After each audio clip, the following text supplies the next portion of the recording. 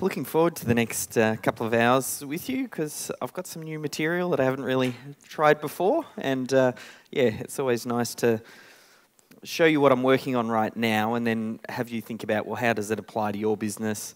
Uh, how you, can you customize this and, and have some steps forward in your business?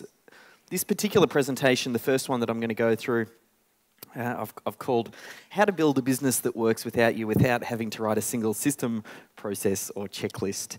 Because uh, I know quite oftentimes for a lot of business owners, this idea of systems and processes, uh, people make it like it, it's not a very sexy topic. It's not something that a business owner goes, Yes, I want to sit down and document my processes and procedures. Um, so oftentimes that gets in the way, and people come up with reasons and excuses as to why they can't systemize their business. Like there's so many different things people say, oh, if I write a system, my team isn't going to follow it anyway, or this particular task is too creative, it can't be documented, or I, I, don't have time to document my systems and processes. Everybody has these reasons that bubble up about why they haven't actually done it. And I wrote that headline to, I suppose, capture your attention, but we're all business owners, and you're here for a weekend about systems and processes, so you're probably under no illusion that it's hard work to build a business. It takes time, there's effort involved, and this presentation, it's not necessarily a, a, a, holy grail as far as a magic button that I'm going to show you that you can press that'll create systems for you that are going to deposit large amounts of money into your bank account with very little or no work. Um, that said, though, I think uh, what I want you to start thinking about is if you're working on things in your business that aren't scalable, that aren't duplicatable, if you're doing repetitive tasks, that's just dumb a lot of business owners, they'll spend 80 hour work weeks just doing the same stuff over and over and over and over. And they never get enough separation from the business to be able to think strategically or, or work on their business. As Michael Gerber talks about, try and work on your business rather than in your business. And systems and processes are a way to extract that. And, and I think as you grow within business, you go through these different stages, and different lessons and different insights will resonate more with you depending on where you are growing a business. And I'll take you through a framework to figure out where you are, which then makes it a little bit easier to think about well, what are the next couple of steps do you need to get in place to kind of help you to move through that level to the next level? But I find a lot of people they get stuck when it comes to the systems and processes.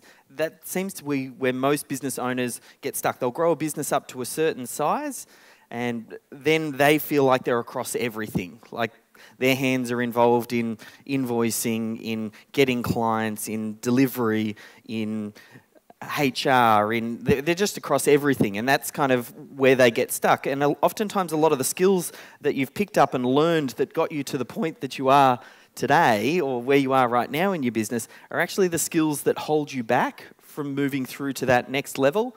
Because to grow the business up to one size, you do need to be across everything. You do have to micromanage. You're architecting this. You're, you don't have a team around you. So you do have to go out there and win as many new clients as you can and make sure that you manage their experience all the way through so they have a great experience and then they start to talk about you and then you start to get referrals. So you, you do need to do that, and you go all in up until a point. But then what ends up happening is it becomes a habit.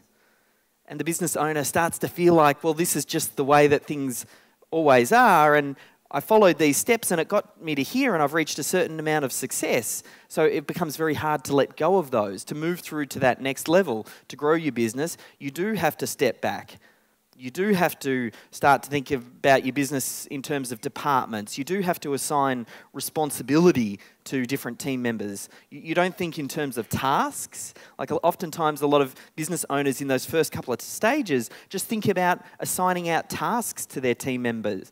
Well, here's the 20 different things I need to get done. You go do that. As opposed to once you move through to that next level, you start to think more about responsibility okay, you are responsible, responsible for the accounts department and everything that happens with it. It's a, a subtle change, but it has big impact because then it enables you to delegate more effectively. It gets you to have your team members start to take ownership of the outcome. And really, that's what I want to take you through. I want to, at least in this first presentation, give you a few of the insights uh, that helped that are counterintuitive. That's the other thing. Oftentimes, a lot of these things you don't see it when you're in the thick of it.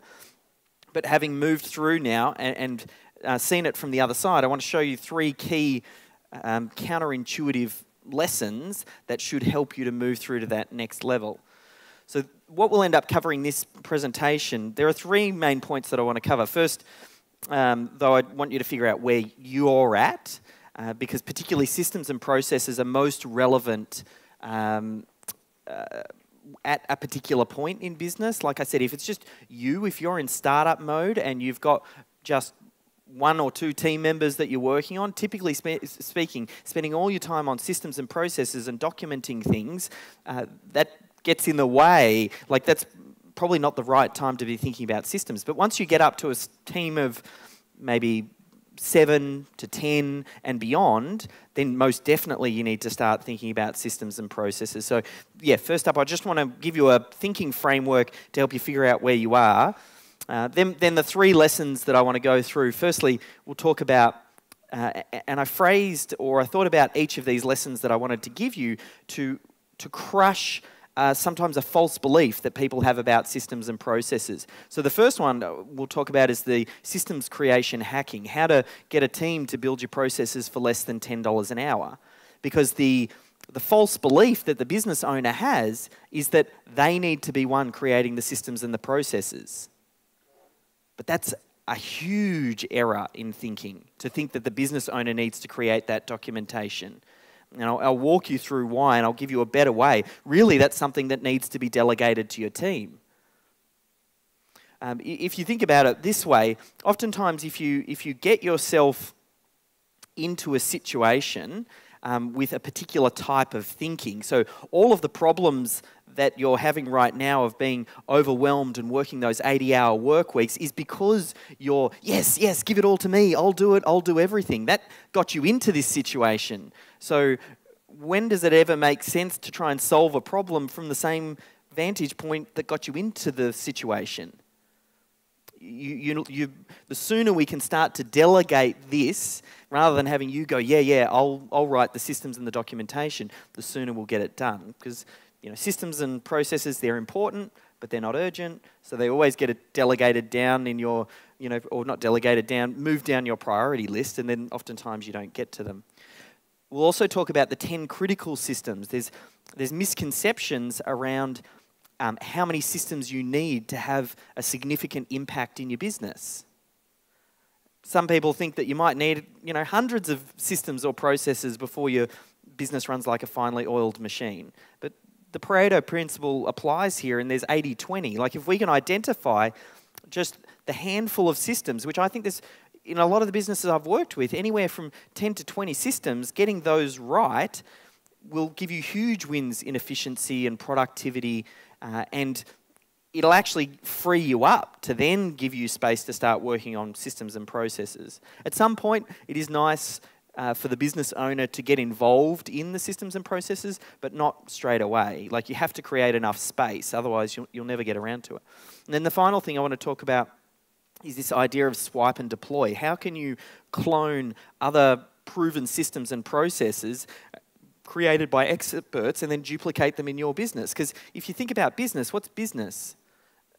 The game of business is about solving problems that's, that's really what you do as the business owner. You identify a problem, then you should try and find a system or a process that solves that problem, and then you deploy it in your business.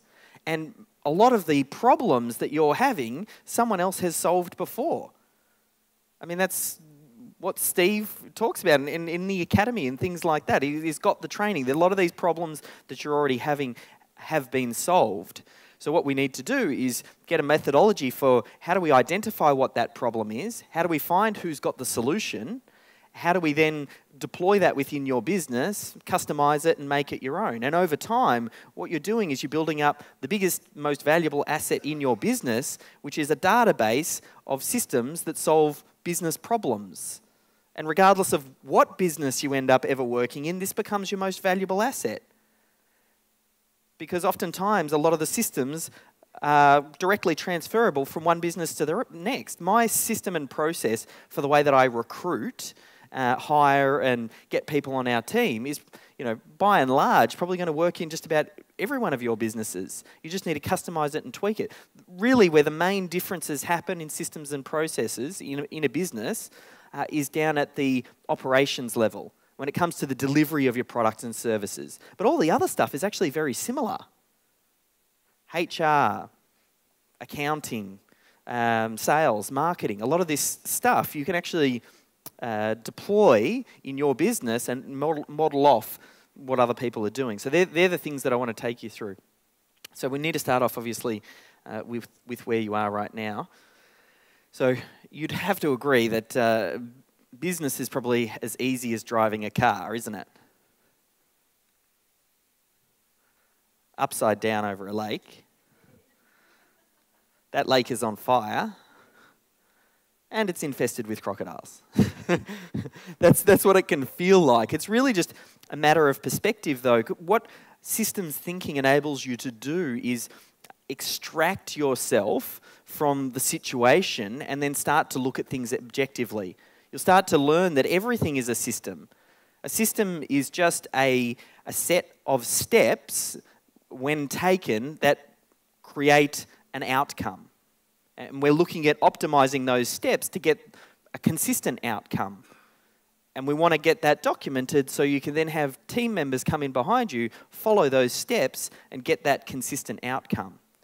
So when you're in the thick of it and it feels like you're about to get eaten by a crocodile or burnt alive, if you approach it as this is just a problem with my systems and my processes, it, actually it's quite empowering because now it makes it easier to identify well, this is just a problem. This is a problem with a system or a lack of a system or a process. How do I now fix that bit? And then you just play the game of identifying problems and finding systems and processes to fix them. So, this is the thinking model that I just wanted to start with first to kind of get you to think about well, where are you now in this growth phase of what I call the four stages of entrepreneurship. Uh, because then that kind of helps you to understand what the breakthrough is. So there's four stages. There's the, the startup phase, there's the proven stage, there's the system stage, and the complete stage. So when we go through this, that's the first thing I want you to think about is where am I? And you might have little elements of each. You might go, oh, yeah, I'm kind of crossing over from this stage or this stage, or I haven't quite got that in place. The, the purpose of this is more of a little bit of a, a thinking model for you. But that stage one entrepreneur, the startup entrepreneur, they've got loads of ideas. I know a entrepreneur oftentimes will have loads of ideas all the way through, but they're very scattered. There's very little focus and they're very often opportunity seeking. You'll have lots of different things come up, and oftentimes, you know, you might go to different seminars and workshops and jump from one thing to the next. And if you imagine the metaphor of this field and you're trying to dig for gold, all you've done is kind of dug two foot deep holes all across the field, but you've never gone really very deep on anything to try and actually find the gold. And there, there has to be a point where you start to focus. There has to be that point where you go, here is my product and service. Here is the target market that I'm serving. Here are the problems that they have, and I have products and services developed to solve their very specific problems. And you need to kind of let go of this um, FOMO, the fear of missing out, and think, well, there are all of these opportunities, millions of different ways to make money online, and try and stake your claim. Find that one piece and then go quite deep on that. Oftentimes, as well, the, the person, when they're chasing uh, these different opportunities, they are they're going out trying to get work and then when they get the work, then they do the work, and then they go out and chase to get more work once it's done, and they're just kind of doing the work, getting the work, doing the work, getting the work, jumping to different opportunities. And yeah, the real key leverage point here is focus. So if you find yourself in that situation, it's kind of maybe you need to just brain dump out all of the different opportunities that you've got into a notebook and then try and prioritize or think, well, which one has the, the best chance of success? And then double down on that one rather than kind of splitting yourself. I'm, I'm the same. I mean, I've been guilty of it. The reason I can talk about this so well is because I know what it feels like. Uh, for too long I've had too many different businesses Melbourne SEO, Melbourne Video, System Hub, Planet 13. Um, Planet 13 was broken into different divisions. We had wholesale and retail, and we were trying to franchise, and just too much. You just need to focus in on one. Uh, oftentimes, if you can't make that one thing work with a lot of the information you've got, you've got the right environment by being here. If you can't make that one thing work uh, with focus, then what makes you think you're going to be able to get 100 things working? So, yeah, the real key for that first level. So, the next level is, is the proven entrepreneur. So, at this point, you've started to focus. You've started to think about who, who is my target market? I know who my target market is. I know what problems they've got. I know very deeply and intimately about their situation.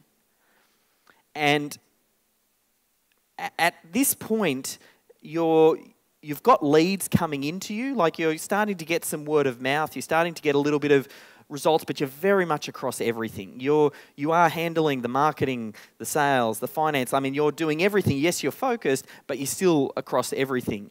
Oftentimes, uh, effectively what you're doing at stage two is swapping um, time for money. Like that's that's really what you're doing. You don't have any replicable way of making profit because really it's just you. You'll, you'll get the client. You're still centered to, to, everything. You might have a team around you. You know, it's usually less than about seven. Maybe it's a few contractors. It's a part timer. You know, you find someone on Upwork or Odesk or whatever, uh, and you're working with them.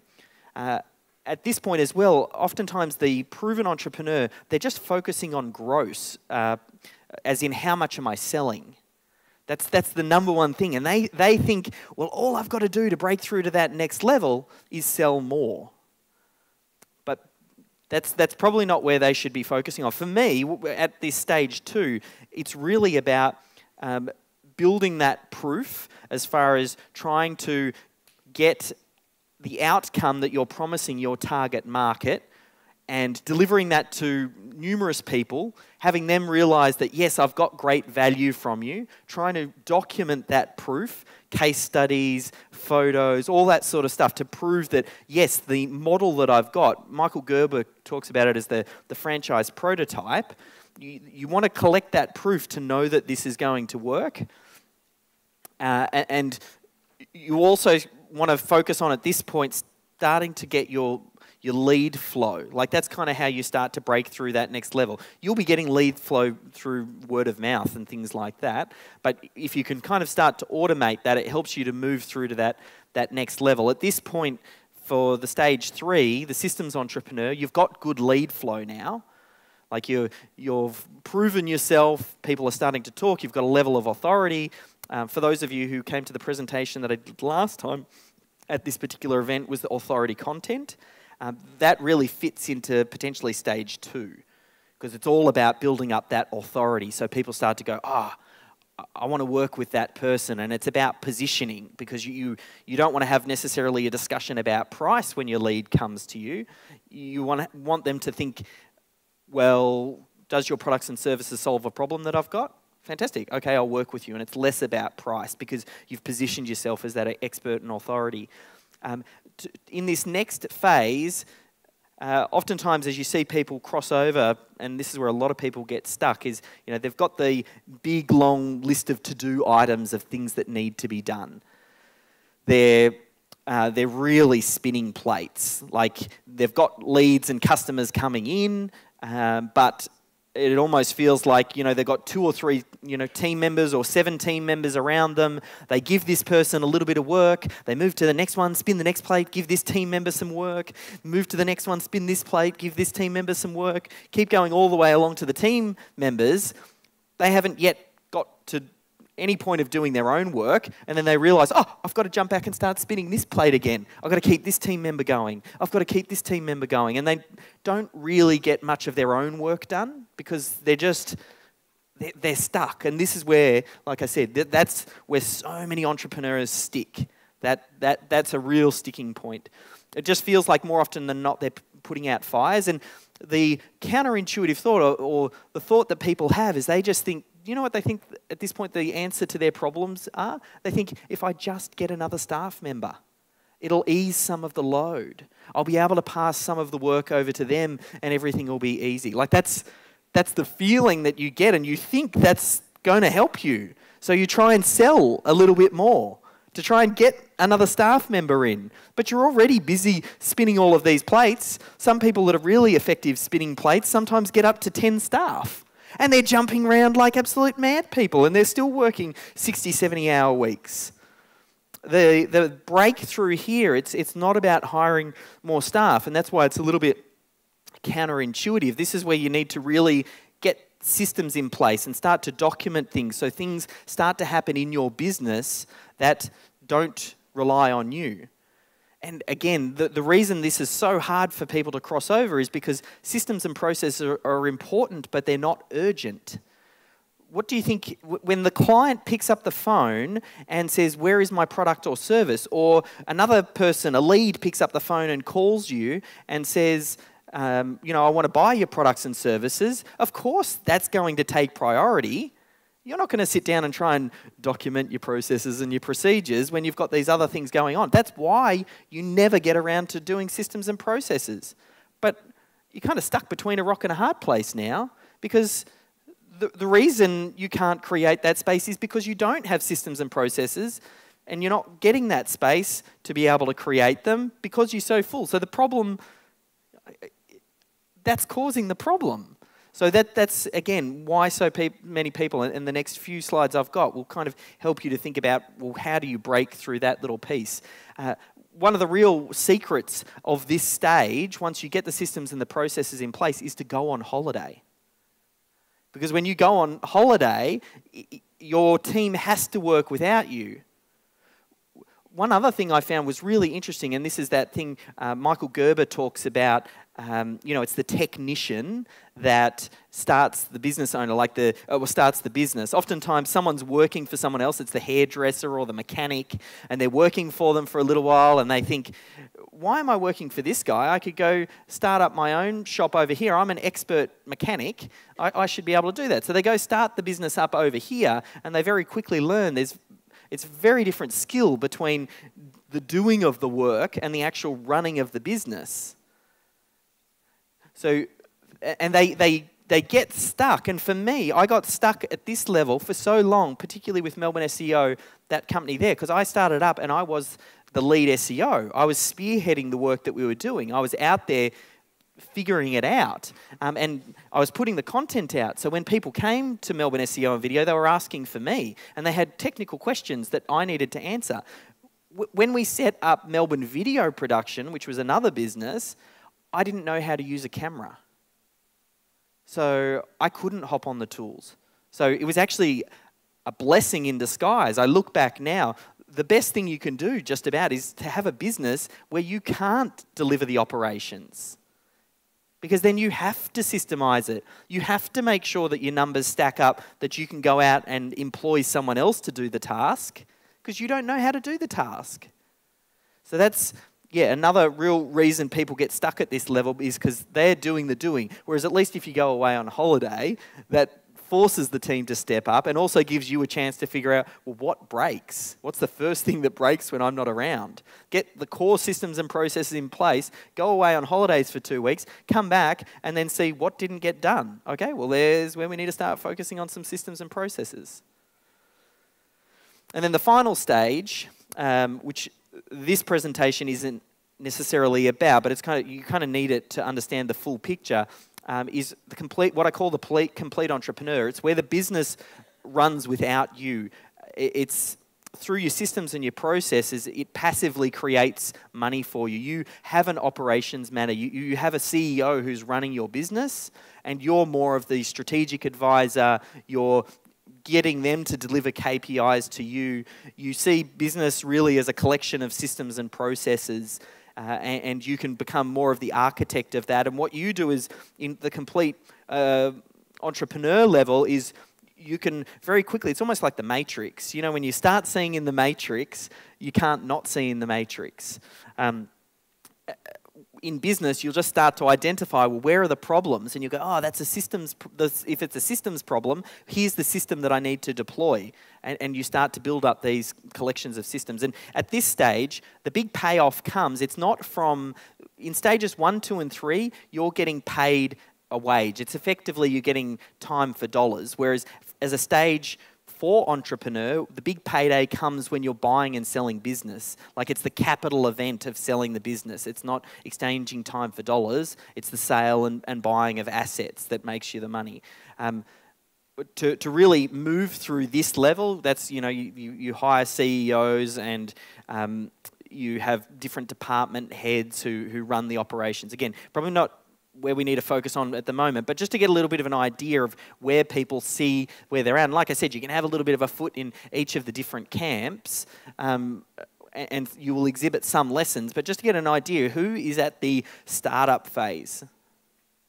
Yep, so there's a few startups. And have you got some insight or some lessons? One, to identify where you are, but also two, maybe what to focus on to help you move through to that next level. And hopefully, over this weekend, you'll start to figure out which sessions resonate with you more. And another thing is, you need to start learning almost like just in time learning. When you're just getting started, a lot of people feel like they have to learn everything just so they kind of understand what's going on. Uh, and, and, you know, you'll join something like the, the academy, and there's so much information in there, it can be overwhelming to break through to that next level, think about well, what is the problem I'm having right now? Find the piece of information that solves that problem and just learn that piece. Quit trying to feel like you have to be across everything. Like you have to be in the moment and solve that problem. So, and then level two, the proven entrepreneur. Yep. Okay, so we've just got one proven entrepreneur. So that's kind of when you you've now got something that you're you've focused in on the business and you're um, you are starting to collect some runs on the board. At least you've got that focus now, and hopefully you've got just a few insights now on what you should collect. Um, connect. If you go ahead and email me, Dave at systemhub.com, I'll give you a free copy of. This is just for this lady here because that's the information she needs now. I'll give you a free copy of authority content because that's really what you need to do at that stage. You just need to build yourself up as the authority and the expert in the space. Uh, who's at this level three? Okay, so probably a little bit more established businesses. You kind of know, you're kind of spinning all of those plates, you're jumping around, and that's really what this presentation is about. Uh, and I'm going to show you how to kind of break through on that, and it's the reason I also wanted to do this, the information that I'm about to share with you at the moment, or in a second to do with systems and processes, it'll help everybody. It's nice to go in, but it's most relevant for those people. Like the people who just said, I'm a, you know, at this stage three, the information that I'll give you, these counterintuitive lessons, are going to be very, very helpful because they're solving the problem that you've got right now. And then stage four, any stage fours in here? Yep, perfect. So, and that's kind of when you, you, you start to think about business separately um, or, or as little separate entities. So, yeah, this particular session, it's, it's really for someone who's been in business usually a few years. Um, they're very clear on the target market. They know the problems that they're solving. They've already got a, a good amount of te- um, a team around them supporting them. Uh, and, and we can kind of look at breaking through to that next level. So I think no presentation around systems and processes can be complete without quoting Michael Gerber. Um, I think one thing is, uh, Michael has, I mean, you may have seen this quote. If your business depends on you, you don't have a business, you have a job. And it's the worst job in the world because you're working for a lunatic, as in you're working for yourself. so that's, uh, yeah, an important insight to think if it re- relies on you, you don't really have a business. It, the, the business needs to operate without you. It, it has to. Like, that's effectively what we're building. That is the asset value as well. When it comes to actually selling the business, what does the potential buyer look at? What does the uh, level four complete entrepreneur look at? He wants to make sure if he purchases that business from you, that that business will continue to operate after he, he buys it from you. Like if the business is centered around you, what has he got? He can't really buy anything. He's, he is buying the most valuable asset you've got is the systems and the processes. That's what McDonald's is selling. They're, they're selling a system and a process. Some people, if you ask them, what's the most valuable asset in a business? Some people, especially if they're marketers, they'll go, the list. The list is the most important asset in the business. But if that were the case, you'd think McDonald's would probably sell you a list of customers, a database. No, they, they sell you, here's how we run the business. That's, that's where the asset value is. And if you've tried systems and processes in the past uh, and you haven't got it to work, you know, you've, you've kind of dabbled around the edges and you've come to the conclusion that thinking systems and processes aren't for you, then we need to throw those out the window. I mean, every business needs to crack this nut. And I think a lot of the information out there, uh, a lot of it's actually outdated with systems and processes. That's why I quite like what Steve's doing with this particular event to get more updated information. Some of it is useful, uh, some of it is useful but incomplete, some of it is outdated. So the idea of systems and processes as we previously knew them, you know, these big fat phone books that sit on a um, folder on a bookshelf that no one actually refers to. You know, that's, that's not what we're talking about. We're going to try and break some of these patterns. Um, and, and what I want to do is try and give you an epiphany through this to go, ah, Systems are the most important asset. It is a bridge that every business owner needs to cross. That's the other key thing to have. Like, you have to cross this bridge. And I want to teach you a, a new way of thinking, a new philosophy. Um, I call it systemology, and that's what I'm going to walk you through. Just to make sure that we're all talking the same language, though. I mean, when I talk about systems, I mean systems, processes, procedures, checklists, standard operating procedures. Like for me, that's all the same thing. A system, I'm just talking about a series of steps that, when followed, create a consistent outcome. And, and you need to build a collection of those. That's all business is. It's a collection of systems and how they integrate and uh, connect with each other. So is this, uh, yeah, making sense? Yep. Cool. So there was a big breakthrough for, for me a little while ago um, when I finally removed myself from the day to day operations of Melbourne SEO and video. Um, that was last year. Uh, it took me 10 years in that business. I've been in business a long time, uh, and I just got stuck in that holding pattern. And it wasn't until I got a CEO in there, she now runs the day to day operations, and I've removed myself that I can finally feel myself as a business owner. And anyone who's been in business will, will know um, that's not a small feat. Like, that, that's hard, hard work. There's no two ways about it. Um, but, but we've had a lot of different wins over the sort of time. That was definitely a big one. But for me, just recently, I got to speak on stage at a TEDx in the Netherlands and talk to some kids around systems thinking um, as a philosophy. So, what we also talk about will extend far beyond business. I had the epiphany um, of systems thinking related to business, but but it extends well beyond that. And now I'm, I'm sold on this idea. This is just the way that I see the world. Uh, I'm a systems nut, and I'm hoping this ends up being really contagious for you because this, this is the master skill of the entrepreneur. It, it is the building of systems. There's, there's no two ways about it. Um, obviously, it wasn't always that way. The, the way I broke through was, um, for me, if I just go back a few short years uh, before Melissa kind of took over, very much working 24 7, like most business owners, just really focused in on the business to the exclusion of all else. Um, probably friends and family thought I was a little bit crazy with the amount of hours that I was putting in, and they're kind of, you know, you need better work life balance and all, all that sort of thing. Um, and, and I, I knew I wanted that, but then I, I had this deadline. Nothing like a deadline to make things happen. So that's if there's anything that you can do to take away uh, from this particular presentation, if you can build in deadlines into the way that you work, like something has to be done by a certain date, that's when it gets done. So the, the deadline that I had was uh, this was my first here, so this is Nathaniel. That's going back a couple of years now, two and a half years.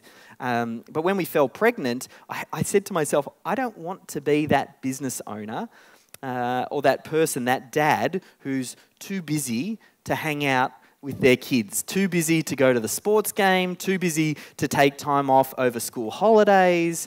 Like, I had seen that, particularly from my dad, always too busy, always on the phone, always doing something. And I thought, that's not the way that I, I want to be. So I had this deadline, and I thought, right, I need to figure this out. And I was a little bit embarrassed at that point. Yes, Melbourne SEO and video had been running for a good seven years or something like that. Uh, but I still was embarrassed because I didn't really have a business. Like, it, it, everything would grind to a halt if I wasn't working.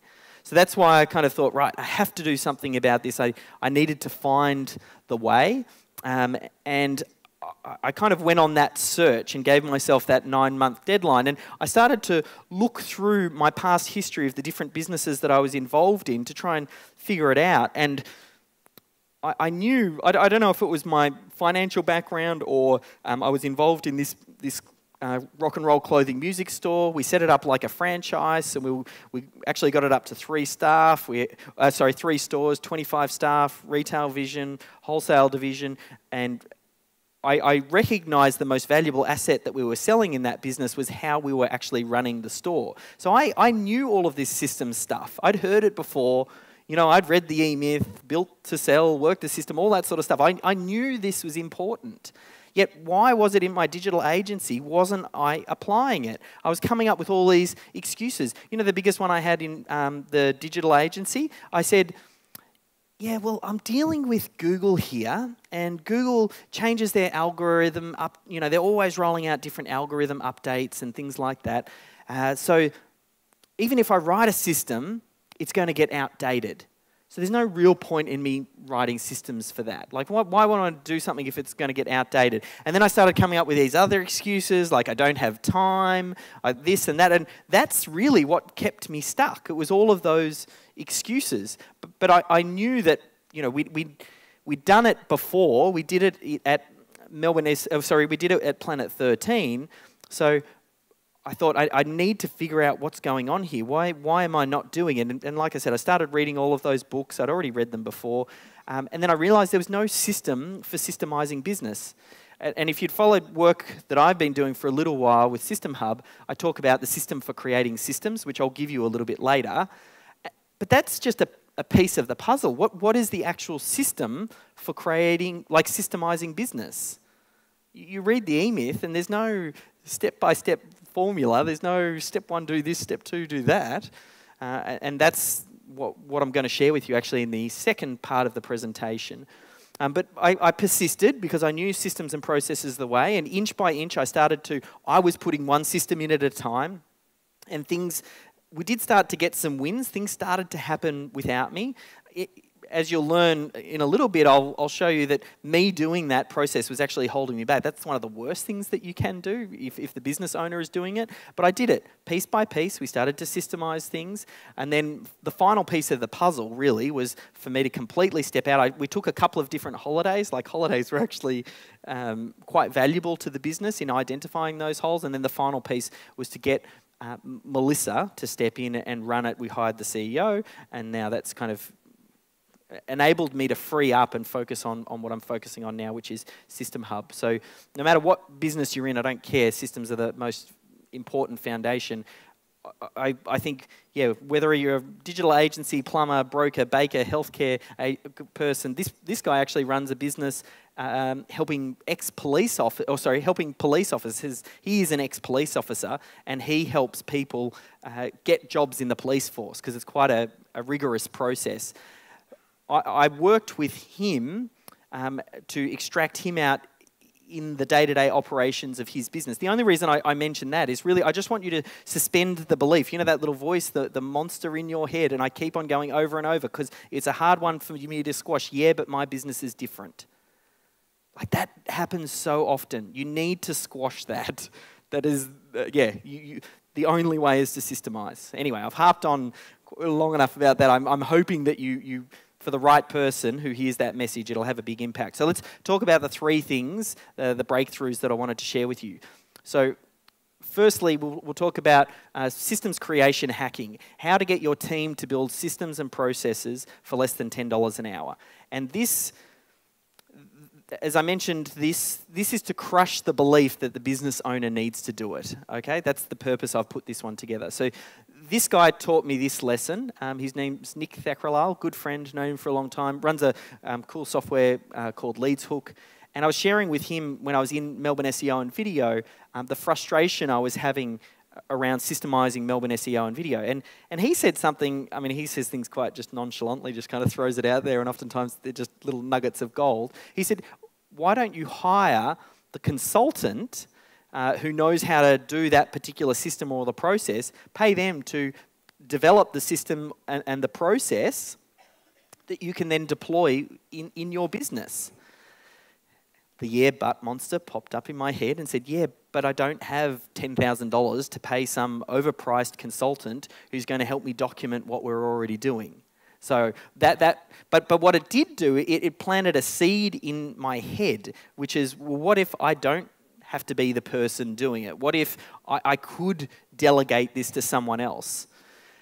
And that stayed with me, and um, obviously at that point, I'd kind of started to free myself quite a bit from Melbourne SEO by doing it myself. But as I've started to work with business owners to try and help them systemize, I work with this guy, Tim Reed. Does anyone has anyone heard of him? Tim Reed. He runs a podcast called Small Business Big Marketing.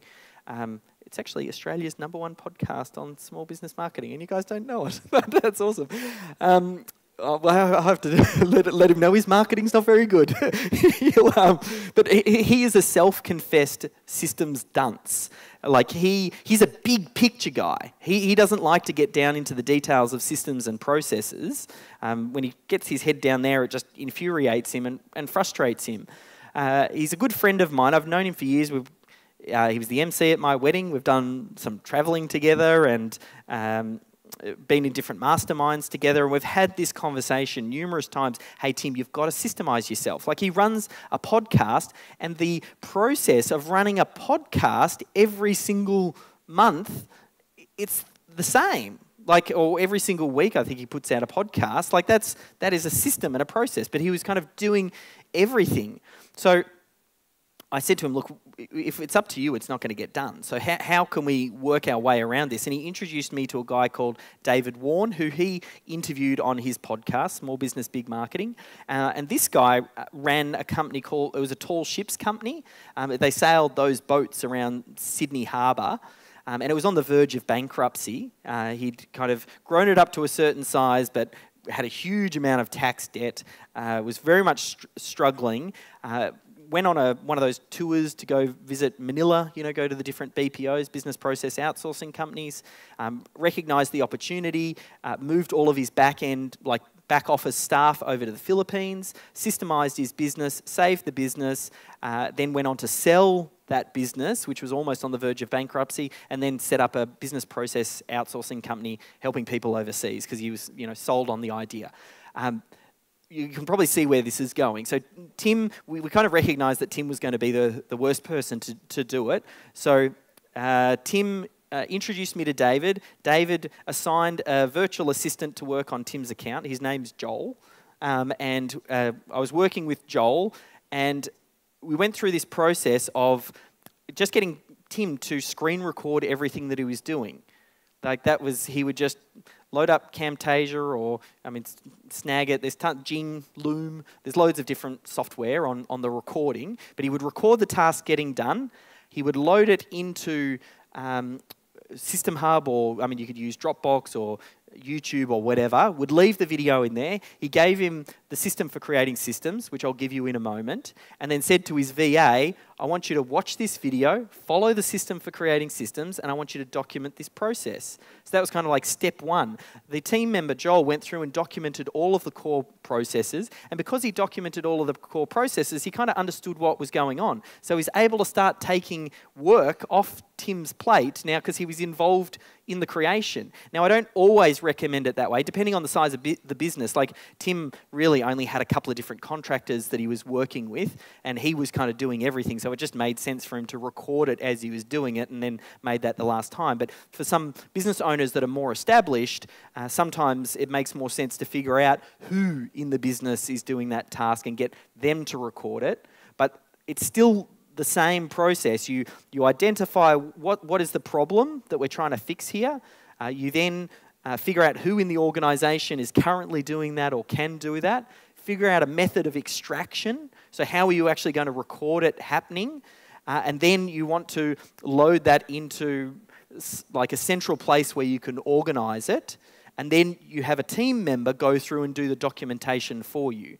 So following system for systems, you get them to pick out the main bullet points. That becomes version one of the document. Then you get other team members to review it when they do the task. And then this library of documentation ends up getting built out.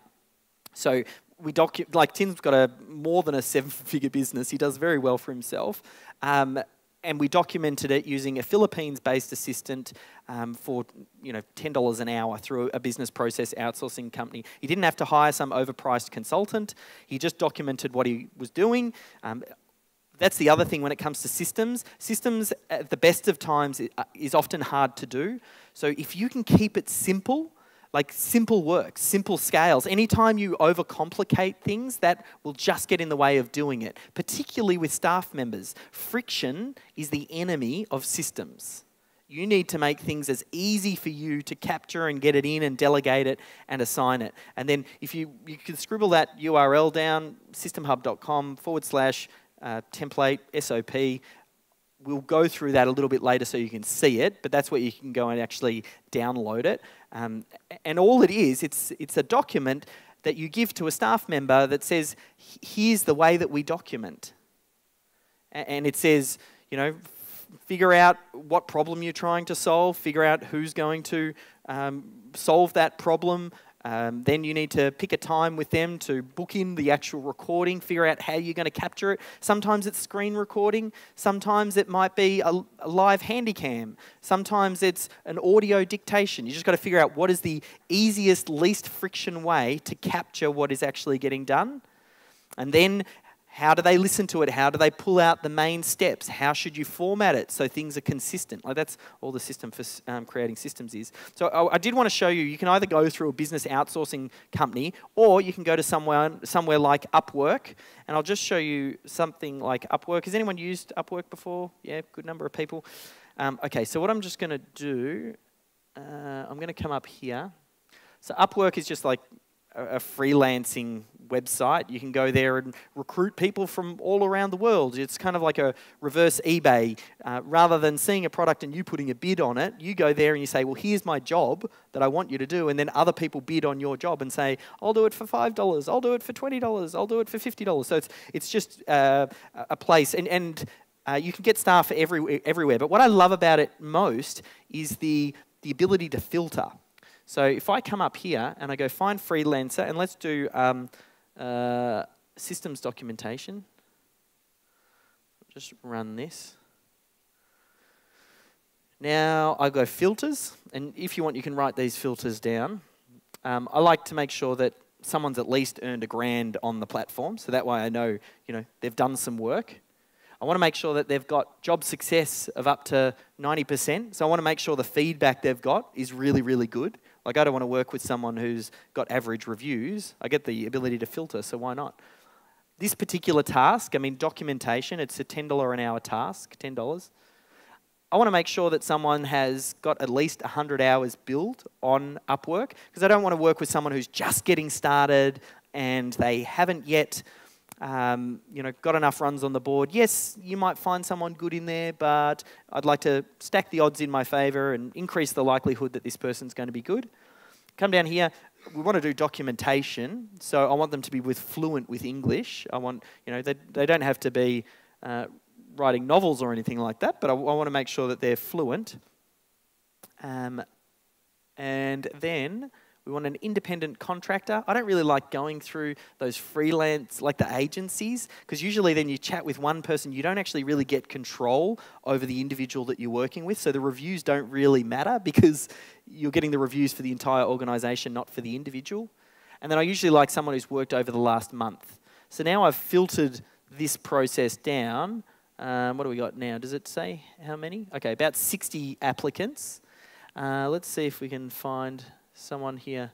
Business analyst, customer service, SEO. Um, sometimes, depending on what they are, someone like this, if they've got a good variety of tasks, I often find that's a good person to work with because systems documentation, you kind of have to understand, you know, have a more of a generalist. You're not a specialist. Um, so she she could be quite good. She's in Bangladesh. One other filter I like to do actually. I've had very good success um, hiring in uh, Southeast Asia. So let's do Asia, Southeast Asia. Cool. All right. Um, yep. Potentially, project managers tend to do quite well because they're quite good at, at um, thinking through where people get stuck. So there you go. $10 based in the Philippines. I love recruiting out of the Philippines. $10 an hour, um, 96% job rate. I mean, you could click on her, find out a little bit more. Virtual assistant, project management coordination. I think she, she potentially could be a great person for that role. So anyway, long story short, I just want to kind of show you how and where you can find these people who can actually do the documentation through Upwork. Um, there was just the filters. I'll chat with Steve about getting him a copy of the slides. Question?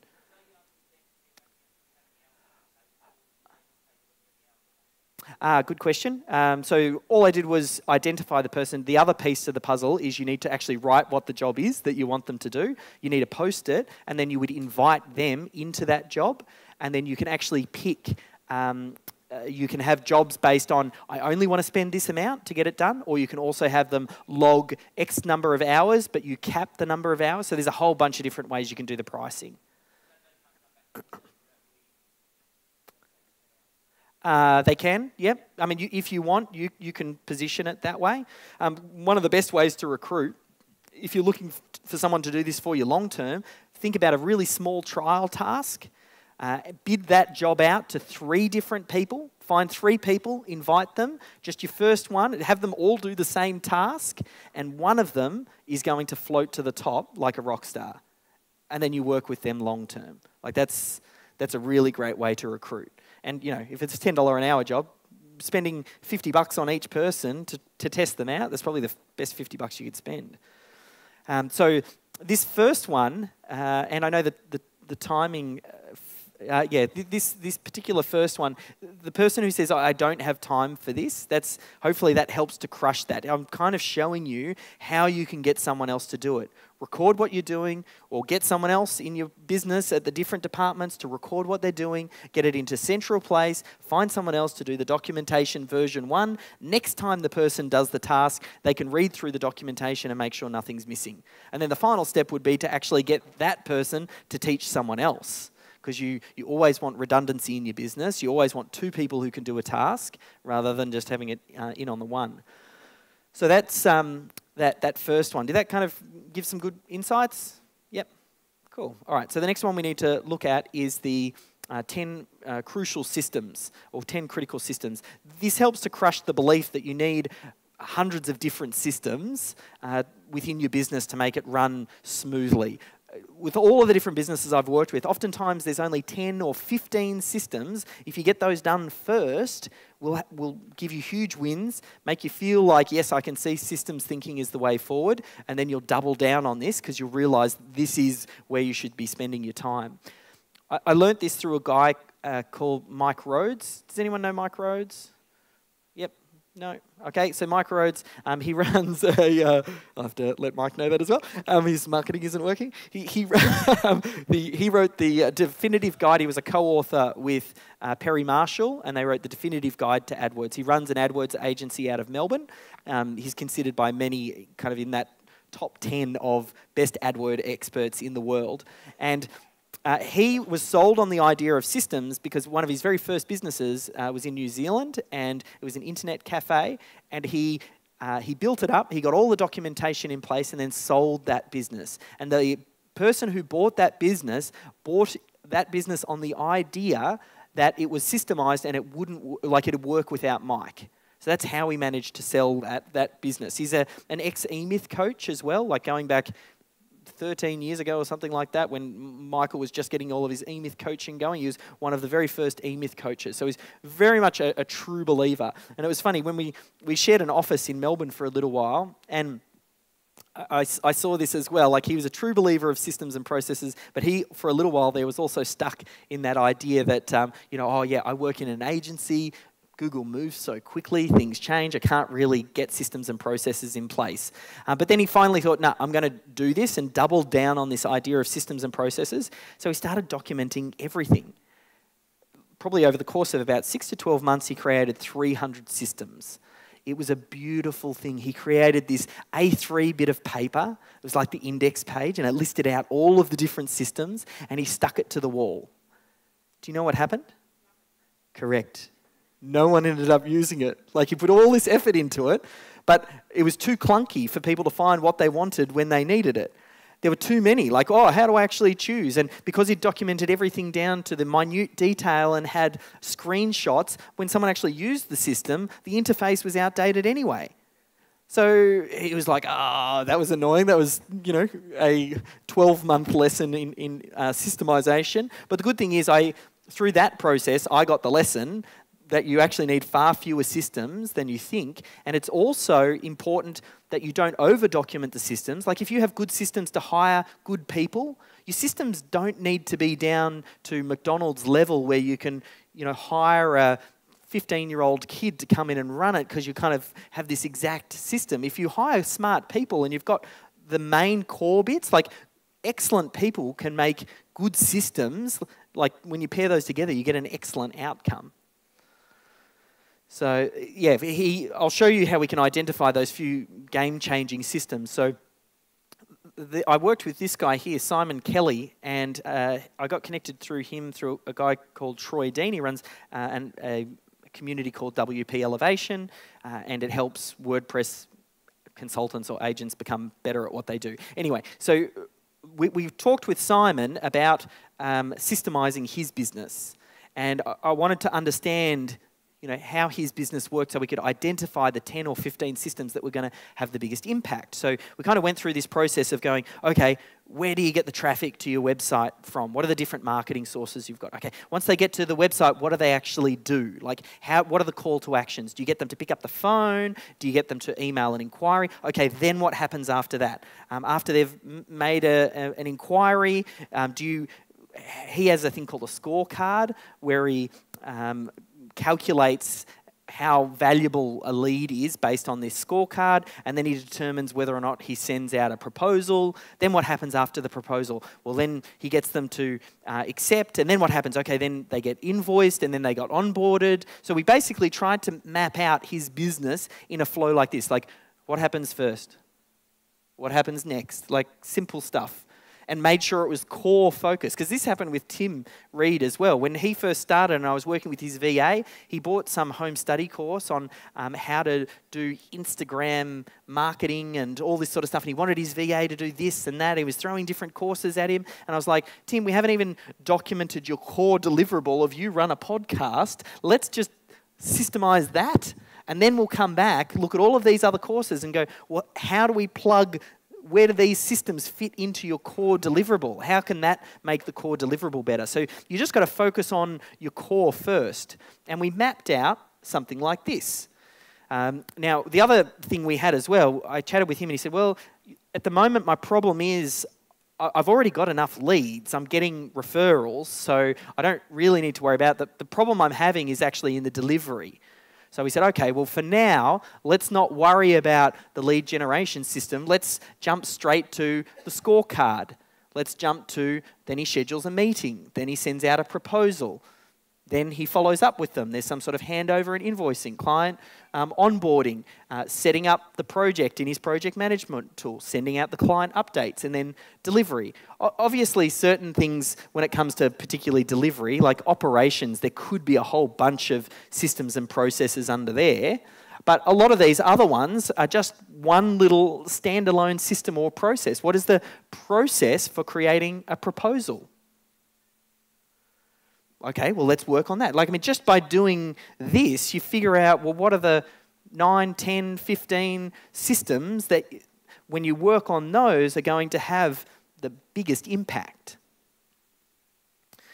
So that's what we identified first, and, and then um, he, he, was quite lucky. He had one of those deadlines in place. He was going away to China in two weeks' time, so we mapped out this. He had some virtual assistants that he works with. Um, he once he identified this, he uh, screen recorded what he could, handed it over to the VA. They went through the documentation. He sent it off to them, and he got the guts of his core systems in place. Then he went away on holidays for two weeks, and guess what happened when he went away on holidays to his business? just kind of just chugged away, didn't burn to the ground. He came back and it was still operating. Yes, things lagged and yes, things dropped and things got stuck, but that was just a great opportunity for him to go, okay, well, I gotta have to get a system in place for that next time. So then he started working on his next wave of systems. So you just got to break it down into your core, and then you start plugging the holes, and then you, yeah, over time, you start to develop this database. And he, he became a real true believer at that point of systems. Like he could, he could see the way forward that business is just simply a collection of systems. Um, he got a little bit more fancy. That's very small. So I made it a little bit bigger for you, but it's probably a little bit too small anyway. Uh, I've broken this into two halves, but he got a little bit more fancy. He started breaking up the different departments in his business and then started to talk about, okay, well, lead generation. He wanted to do these fancy flow charts. I mean, you'll see my fancy flow charts in a little bit. They just look like circles on a page. Um, but, but he, you know, started doing these triangles, which are decision boxes. I mean, you can take it up a couple of levels, but for me, it's always about simplicity. Systems is about simplicity. You just want the team member to look at it and get it and be able to apply it. Um, but yeah, he started mapping this out, and then by doing this, uh, if it will change to the next slide, um, oh, uh, yeah, then it kind of goes into that next process, uh, actually, which was the continuation of. Uh, and he started to identify, just by doing this, what were the areas that he needed to create systems. Now, this is more what my flowcharts look like. Um, I was working with a, another client. He runs a telco business based in Melbourne, good friend of mine, Pete. Uh, and we talked about his business and the phone call comes in. Um, the person answers the phone. They figure out what type of job it is. It gets posted on a job board. It's either a tech job or it's a something else type of job. If it's a tech job, it goes to, you know, do we need an on-site person to do it? Um, how does the invoicing work? How do we follow up bad debtors? So we just kind of went through that process and mapped it out for him, and that was a really great way to kind of identify in his business where those problems are. So what I was just going to maybe spend just a few minutes. I'd love for you to take out a bit of paper um, and think about your own business, think about mapping from start to end, kind of think about, well, where does your traffic come from? Uh, think about um, uh, when they get to your website, what do they do? What's your call to action? Once uh, they make the phone call or they fill out the form or whatever, then what happens? Uh, do you send them a proposal? Do you have a chat with them on the phone? Like just visually map it out. Now would be a perfect time to do that. Um, and then we'll have someone walk it through their one and we'll give them a prize. So maybe five minutes. I don't know if we've got music. If we don't have music, then um, I will sing for you. Lucky we have music. this is an important step because it's really easy with systems and processes to not make the time to do it. Um, it's important but not urgent, so you don't get around to it. So use the opportunity for the fact that you're here in the room to just get it done now, and then we can think about delegating it later. Okay, so we'll just sort of continue on here. The, the, the takeaway here, I just want you to, as you go through this exercise, and I've done this with dog food companies, insurance brokers, healthcare professionals, a whole bunch of different industries, and um, more often than not, you can identify 10 to 15 systems that are critical, you know, mission.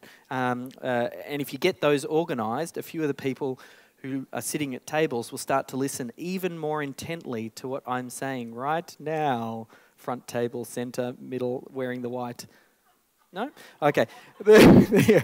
um, that's all right. Um, uh, so we'll. Um, the, the real key here is to try and keep it as simple as possible and thinking that uh, every problem that's going on in your business really is just a problem with a system or a process. So if you say, I don't have good staff, or I don't have enough leads, or my sales conversion is having a problem, start to see these as just problems with your systems or, or lack of those systems. That's every problem is a systems related problem, and business is simply a collection of systems. That's really the heart of all of the, the every business is just a system or a process. So hopefully what I've done there is tried to help you identify where you should focus first. Because, you know, if you focus on a handful, you'll get the win and then it'll continue you on your journey. So the final thing we need to talk about here is about swiping and deploying systems and processes that are already working out there because a lot of the different problems that you've got in your business have already been solved by other people. So the the way I learned this is through uh, the big man himself. Talked about him a little bit earlier, Michael Gerber. Um, uh, Inc. magazine called him the world's number one small business guru expert. And uh, if you don't know him, then you, have heard of his book, or do we all know who he is? Yeah. Um, what I found really interesting, because I was asked to work with him late last year, his, uh, his wife uh, watched me do a book launch for Authority con- Content, um, and she loved it. And they were about to start on a, a process of uh, all of their books previously had gone through publishers, and they wanted to do their first pub, uh, self-published book. And because of that, they didn't have the marketing muscle um, that the book publishers had when it comes to getting word out. So they wanted someone to be able to help with their book launch. And his wife saw what I did with my book. Now, I don't launch books, but I'm very good at um, identifying systems and processes that are working elsewhere and piecing it together, customizing it, developing it, and making it my own. Uh, and, and, she saw that and she said, I want you to do that for Michael's next book. So, the last book in his E Myth series, which is called Beyond the E Myth, um, I was involved in the launch for that. And um, last time I was here, uh, when I spoke at this event, I was just that I, that had just been announced. It wasn't official, um, but now we're kind of on the other side of that. Now, I learned a whole bunch of different things going through that process, as you can imagine, and it, uh, it's a long story, but I want to cut it very short so you get the key lesson. What I found super interesting is that Michael Gerber, the systems guy, everybody knows him as the systems guy, he doesn't write any systems or processes himself. Like that's he, he just doesn't do it. What he does is he finds the expert or the person who already knows how to do what he wants to do he works with that person, gets them to customize that system or process for his business, and then effectively gobbles up and assumes that process as part of the way that he does business. Now, part of what he does is he writes these uh, books, the E-Myth vertical books. Have you seen those? E-Myth for plumbers, E-Myth for accountants, E-Myth for lawyers, and he'll find a co-author to co-write the book. Now, what he wanted to do is get a system so that every time his vertical books launch, he could help them become an instant Amazon success and become get bestseller status by going through this process. So that's what he was doing. He was finding the expert who already did what he wanted, worked with them, extracted it, and then I got to help Michael document that process that he'll now be offering through to his co-authors. And long story short, it was a good success. We got him to number one in the, in the paid area as well. It's a very important distinction on Amazon. There's you can become an Amazon bestseller when you give your book away for free, or you can become an Amazon bestseller by actually selling books, and we, we got it in the bestseller category. So this germ of an idea stuck with me, and I thought, oh, that's that's an interesting idea. So I thought I want to start a podcast where I identify some of the biggest problems that are going on in people's business, find the expert who has already solved that, and I'd have a podcast where I would just get them to upfront state what the problem is and then go through the steps, the SOP. We would record that. Then I'd give it to my team. We'd turn that into standard operating procedures. They'd go through, listen to it, turn it into a documented SOP, and then we'd be able to run it. So, the very first one that I did, because I, I, wanted to do this as a podcast, I thought, well, I'm going to interview someone who has a successful podcast. I ended up doing uh, Troy Dean. I mentioned him a little bit earlier. He's got a, a, successful podcast.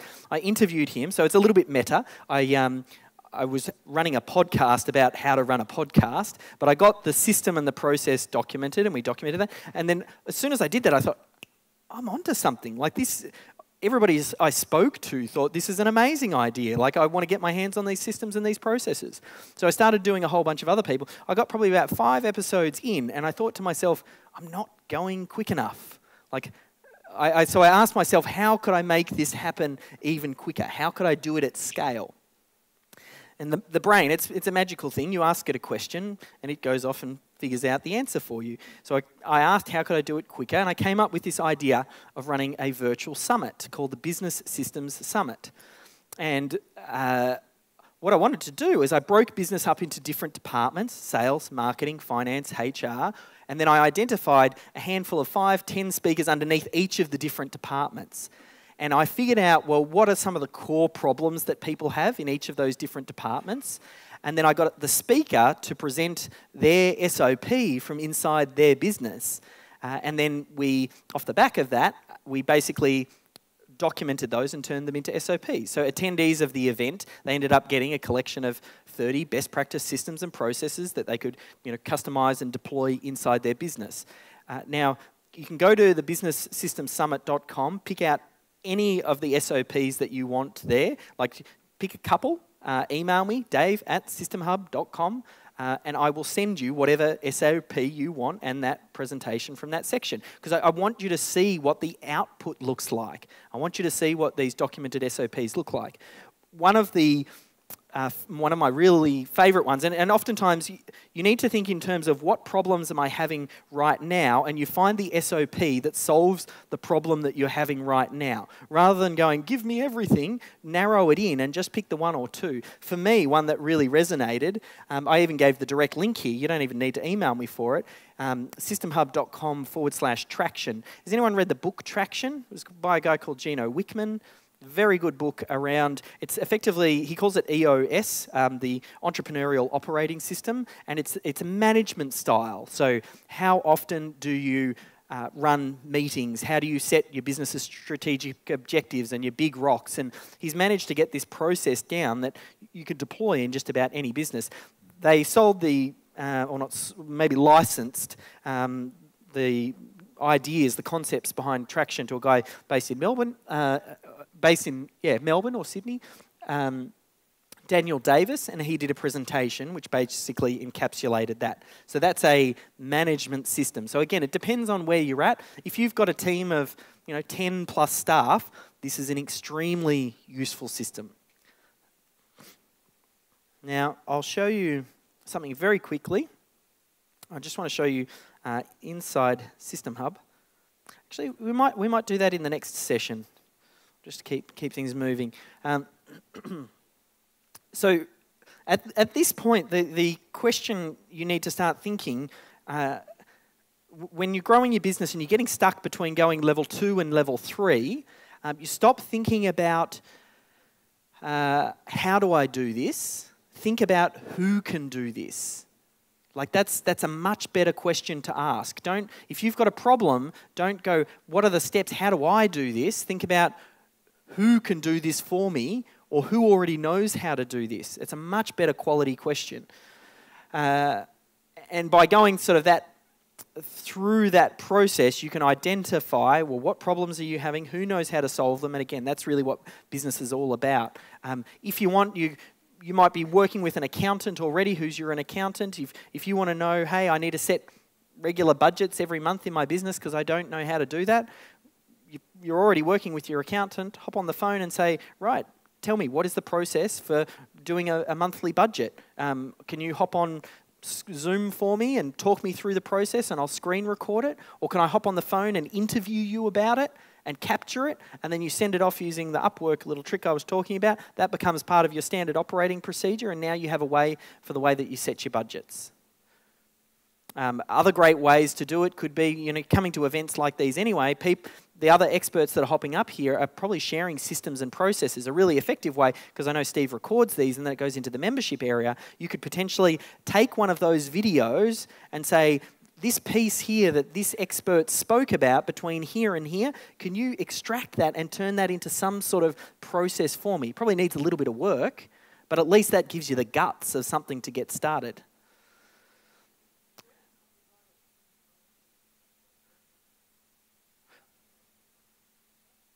Um, the question is, uh, uh, is there any legal thing? Like, if I'm paying a, an accountant to be my accountant and I'm asking him how to document, yep, like traction, Yeah, yeah. So you you definitely want to customize to your situation, and I'm not talking about you going out to commercially sell these. Like I'm not saying create a system and a process and then go and sell it. Um, if they're out there educating, saying here's how to do something, it's learning. All you're doing is learning it, part of your learning is documenting it, and then you're going to end up delegating it to a team member. So it's yeah, if you were going out selling it, yeah, that would be a problem. But you know, you're you're you're using it to improve. I'm just giving you a more effective way to take the information that you learn and put it into practice, as opposed to just being something that you learn. So. Um, this is the last thing. At this point, I don't know whether or not it feels like you're drinking from a fire hose at this point. You've been here for, you know, two days now and you're learning all different things about systems. And I don't know if this feels a little bit like overwhelm or, hey, I'm with you, Dave, I'm following through these steps. Um, in the next session, what I want to go through is um, my methodology I called systemology, and it's, it's the system for systemizing business. So, step one, we've kind of already done, which is how do we map out that core business process. Step two is we need to start to think about how do we delegate that to different departments and then assign those to team members. Step three is how do we use the system for creating systems to get the team member to follow it. And then you just follow through steps four, five, six, and seven, and it's it's a system. Like it's the, the system for creating systems, a uh, system for systemizing business. And this is, I haven't yet really talked about this before. This is uh, the second time I've shared, the first time I've started talking about stuff publicly at Steve's event. Um, and, and that's what I want to go through on the next session. But the goal here, my, my goal for System Hub is we're here to free all business owners worldwide from the day to day operations of running their business.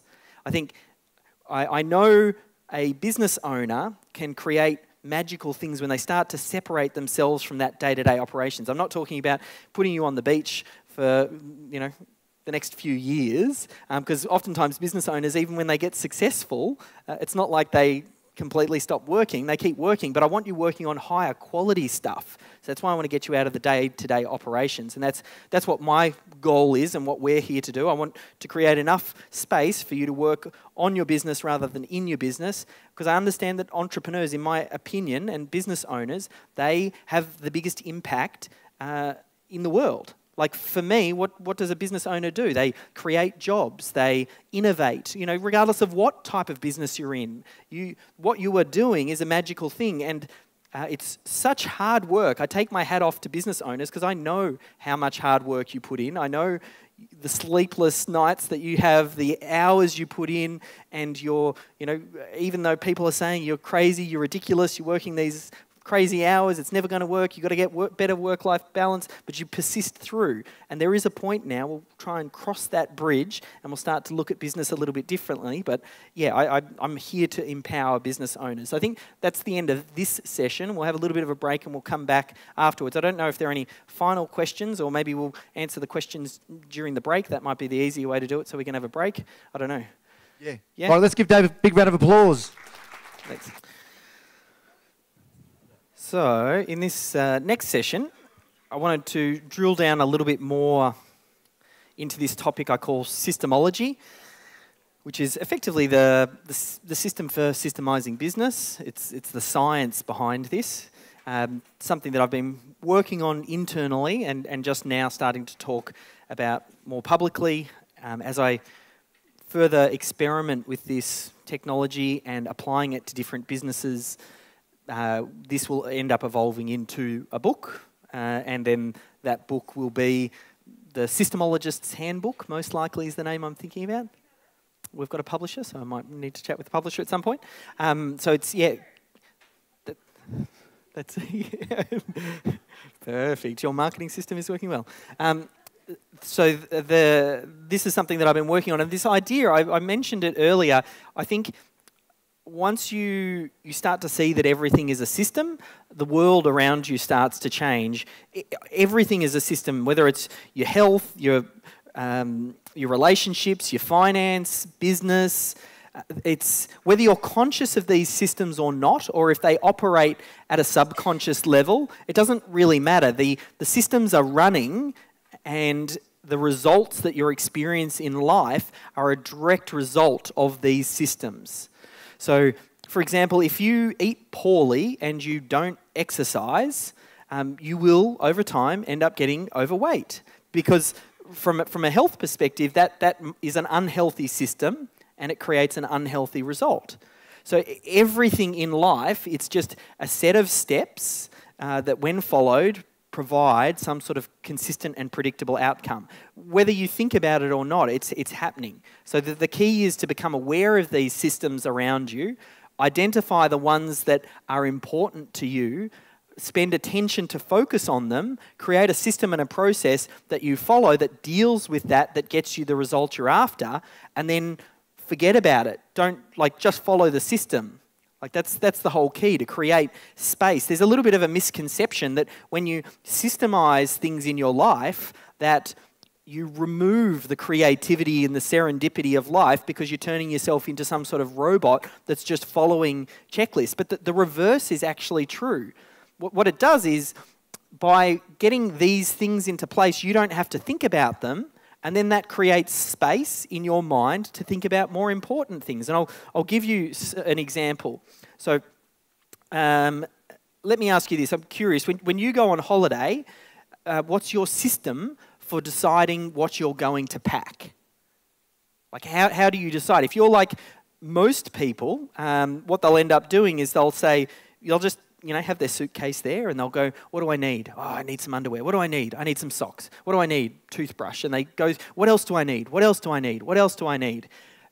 Now, that's, that's a pretty poor system uh, because every time you kind of have to ask yourself to go through that process and you worry about whether or not you've actually remembered everything or you've, you know, have you forgotten something?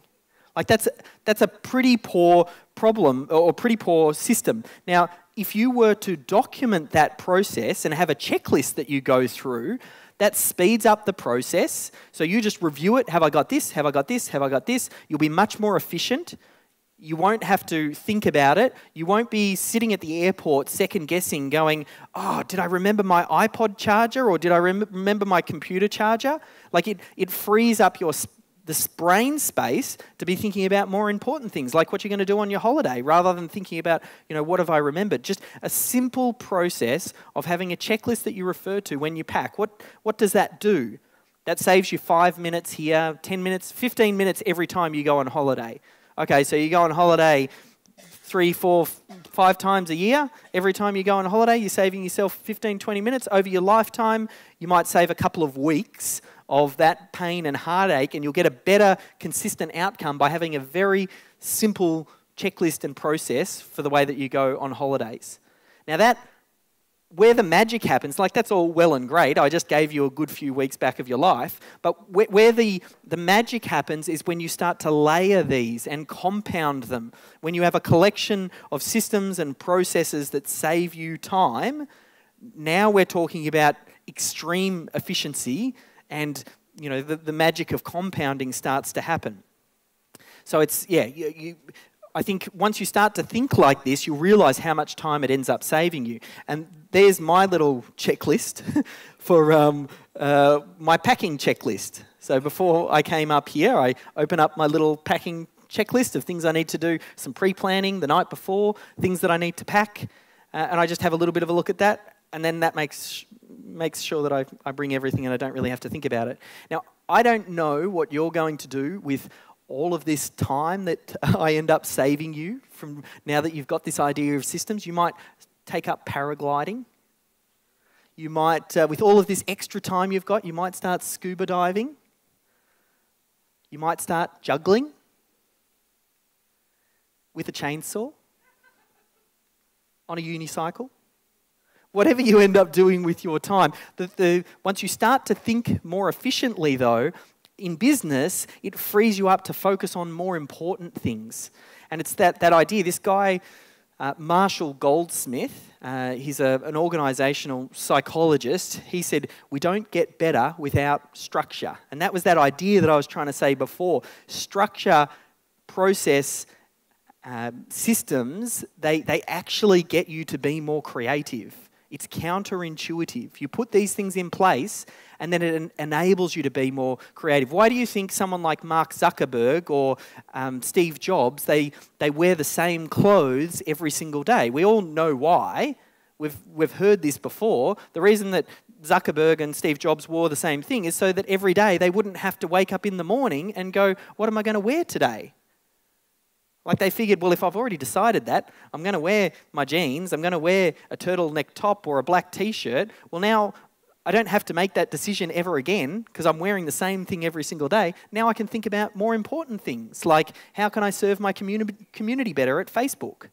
Like that's, that's a system that, that increases efficiency. So if you think of that and then think about how can you apply it to other areas, and we've talked about business just being a collection of systems and processes um, with the whole purpose of reducing errors, increasing efficiency, making sure you find better staff, improving your cash flow. Um, it's just a step-by-step process. I was doing some research on systems and processes because when I go into something, I usually like to go into it quite deep. And I was going across a um, a research report that the World Health Organization ran in 2007, and they ran this pilot on eight hospitals where they created just a 19 point checklist uh, that they got the doctors to look at every time they were about to do um, surgery. Uh, and they found when they ran it across these eight hospitals, the, the post surgery complications, so that's things like getting infections and things like that, they dropped by one third by simply having the checklist in place. And they almost halved the number of deaths as a result of surgery by having the checklist. That's why you got helicopter pilots as well. When they, I mean, they helicopters and planes, they've all got checklists. That's just part of the way that they do things, and that's really what uh, what business is about. So I want to take you through this seven step process, which is the, the system for systemizing business. I call it systemology. Obviously, I can't take you through everything, but I want to give you the guts of it so you've got the main pieces and the main steps that you can go through. So, that the seven steps we're going to go through is first defining, and that's effectively what we did in the previous session when we talked about mapping out the flow within your business. That's step one. then we need to talk about allocating. How do we find the departments within your business and potentially who is going to have the responsibility of completing the documentation? We'll talk about extraction. How do we actually capture that information? What is the easiest, smoothest, most efficient, simplest way to capture it uh, and get it documented? How is that then organized in a way that the team can find it when they need it? Uh, then we'll talk about optimization. Sometimes optimization, or oftentimes optimization, will just happen by default. You don't have to get it right the first time. By going through this process and thinking, how do we do this? Just the process of asking, how do we do this? helps to optimize because you think, is that the most efficient way as you're doing it? Um, so that's, that's one way of optimization. There's actually a sequence of, of stages that you go through that we'll talk briefly about. And we'll also talk about integration. I feel like this is probably the most under-serviced component or under-talked about component in the implementation of systems and processes. Uh, I, I, feel like this is where the black hole is, and I think where I'm going to do my best work as far as uh, introducing this idea of systemology to the world, because it's it's the idea: how do you get your team to take this on board? If you've got an existing team and you've built up to stage number two and they're all doing what they're doing, and you come to this idea of, yes, let's systemize our business. Uh, and, and what's Joe say? Joe goes, why do I have to change? This is the way that I've always done things. Or maybe Jane says, well, I've created this black box around me so no one really knows what I'm doing, and that creates job security for me and low accountability. Why do I want to document this and give you visibility? So there's a lot of resistance that happens at the integration, especially if you've got existing team members. It's much easier when you've got new team members joining you because you can just say, well, this is the way that we do things here. Much better, much easier. But it's there's a real challenge there with the integration, and that's a big reason most businesses fail when it comes to systemization. And we'll also talk about scale. Once you get this in place, the whole purpose of systemizing your business is to scale and introduce growth. And I want to give you this idea that Michael Gerber taught me, where he said every business is a school. That is a really important one. If you get that, that, that can change the way that you do business. Every business is a school. All you are doing is taking people who don't know how you do what you do and you're training them. The, the whole aim of the game here for you to scale is if once you get a solid systems run business that delivers a consistent outcome that gets your clients to come back, how can you find, hire, train staff in the most efficient manner possible. and, and you become a training organization. And that's really what you focus in on is training staff. So that, that, that's a big one as well. Uh, so step number one is, is around defining. And the good news is uh, we've already done step number one. You can't see the D, so it looks like one. Um, but it is done. Uh, and um, it starts with where do you start with defining is identifying the mission critical systems in the business, identify um, what they are. Then, once you've got those in place, the next thing I like to look at is where are the fires? So, where are things where continual problems keep cropping up? I, I think of rolling out systems in terms of waves. The first wave is the mission critical stuff, the second wave is putting out fires. Uh, the, the third wave is oftentimes taking an elevated perspective of your business and identifying the missing pieces. And then you plug in those expert systems and processes that I was talking about, like finding someone else to, to, to put that system or process into place. So, so that first step, um, fortunately, we've gone through. So the next step we need to talk about is then allocation. So the way I like to explain this is through a little bit of a metaphor. If you imagine your wor- your business as the world, okay? And then if we think of your business as the world, then the countries become the departments within your business. So there are different departments. Generally speaking, you can say, you know, sales and marketing. Some people split those two out, but every business usually has that component. Oftentimes, there's the HR component, human resources. That's the hiring, recruitment, those sorts of things. Uh, then you've got the, financial side of things, which is the um, accounting, you know, BAS and bookkeeping and invoicing and chasing money and paying wages. That's your financial side of things. Uh, and then uh, you've got operations as well, and that's the actual doing of it. Now, every business is a little bit different. Some people will have other departments as well. They'll say, oh, I want an administration department, or I want a tech department, or what you need to do is just think about your business uh, in the metaphor of the globe, think of the countries, and then start to think about your, your, your different departments that make up the business because this, this is where you can start to assign responsibility. And that's probably the next step. Then, if you think in terms of the country, if you think of it, you know, I've chunked big your business. Now we're kind of gone down into the different departments, and then we zoom in again, and a country now is uh, can be broken up further. So if we say this is human resources, now there are probably different systems and processes and sections that make up that department. We've got orientation and finding and hiring and managing and how do you promote and retain and fire. So you want to start to think in terms of uh, your, your business as these different departments. One thing we'll do, and, and I'll give Steve the nod to hand out a little worksheet. Um, this is probably something that you'll get to work on in your own time and you can kind of take it away. But I've got a worksheet that helps you do this. The, the process you need to go through once you get this worksheet is have a look at the flow that you've mapped out in step number one, and then you start to identify the systems and the processes that you've identified as your mission critical ones, then you need to think about well, what are the departments within my business? And then you assign the systems to the different departments. And the reason we do this, these first couple of stages, is what the business owner does. Uh, the reason the, the the business owner or works with the team to, to do this is because some of the later stages you'll delegate. I, I, I first need you to understand the business's departments because that helps you then assign responsibility. And again, depending on the size of your organization, you might be at that point where you can start to go, okay, Sally, she's our accounts lady. She now becomes responsible for this department and she's responsible for all of the different systems and processes underneath that department. I gave you a couple of little ideas on that sheet as well up the top. You can look at what your mission critical systems and processes are, but then you can also see some suggestions underneath each of the different departments.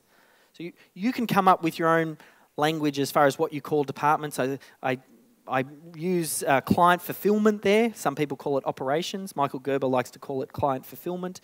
Um, there's a few different names there, but you just find what works for you, and then you start to associate the systems to the different departments. depending on if you're watching the recording for this and you don't have the handout, you can just go to systemhub.com forward slash decision dash tree, and then you can just download that PDF.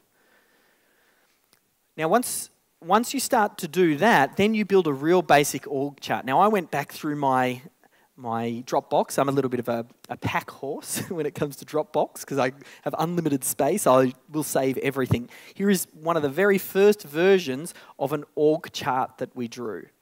So uh, we've got our you know, CEO, and then we've got the different divisions within the business. I've put names in the different divisions, and then some of the divisions as well we've broken up further. So under operations, you know, we deliver SEO, we do websites, we do video, and then there's team members underneath them. But we tried to start to get people responsible for different areas. So on that worksheet, what you want to do is then start to think about um, who is responsible for the different areas because this is part of you delegating. Again, if the systems are left up to you, they're never going to get done. The whole purpose of what I'm taking you through here is so we can delegate as quickly as possible. You know it has to be done. Let's get it off your plate and get someone else working on it.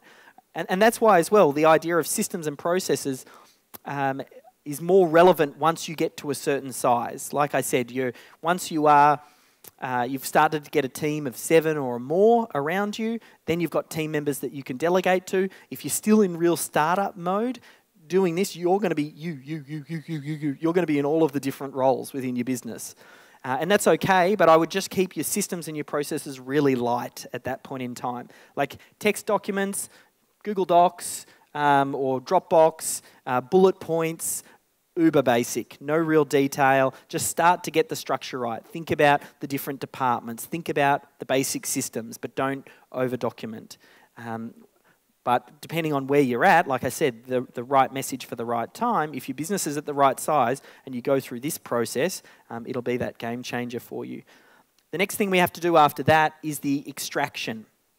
So, how then, now that we know who is going to actually capture these or who's responsible for them, how do we actually get it out of their head in the most efficient manner?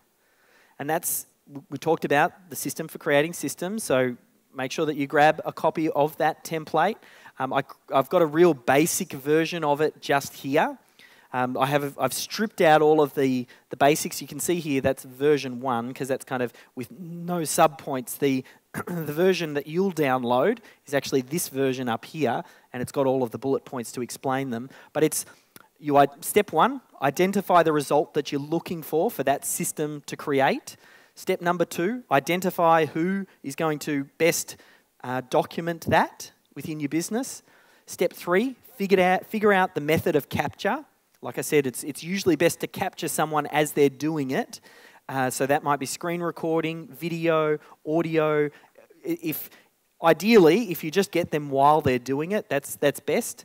Uh, you record the task being done. You then upload that video somewhere, preferably into System Hub. Uh, then you use the system for creating systems. You delegate the documentation component to someone else. You, you, you know, your Philippines-based assistant or if you've got an admin girl that's sitting up the front um, who, who, doesn't have enough to fill her day, she could be perfect for that role. Um, you create the documentation around it. Then, next time the task is done, it goes back to the person who they extracted the steps from, and they follow it next time, or they have it handy, just to make sure that they feel like all of the steps are there and they, they fill it out. Because even with staff, like you have to make this as easy for staff as possible.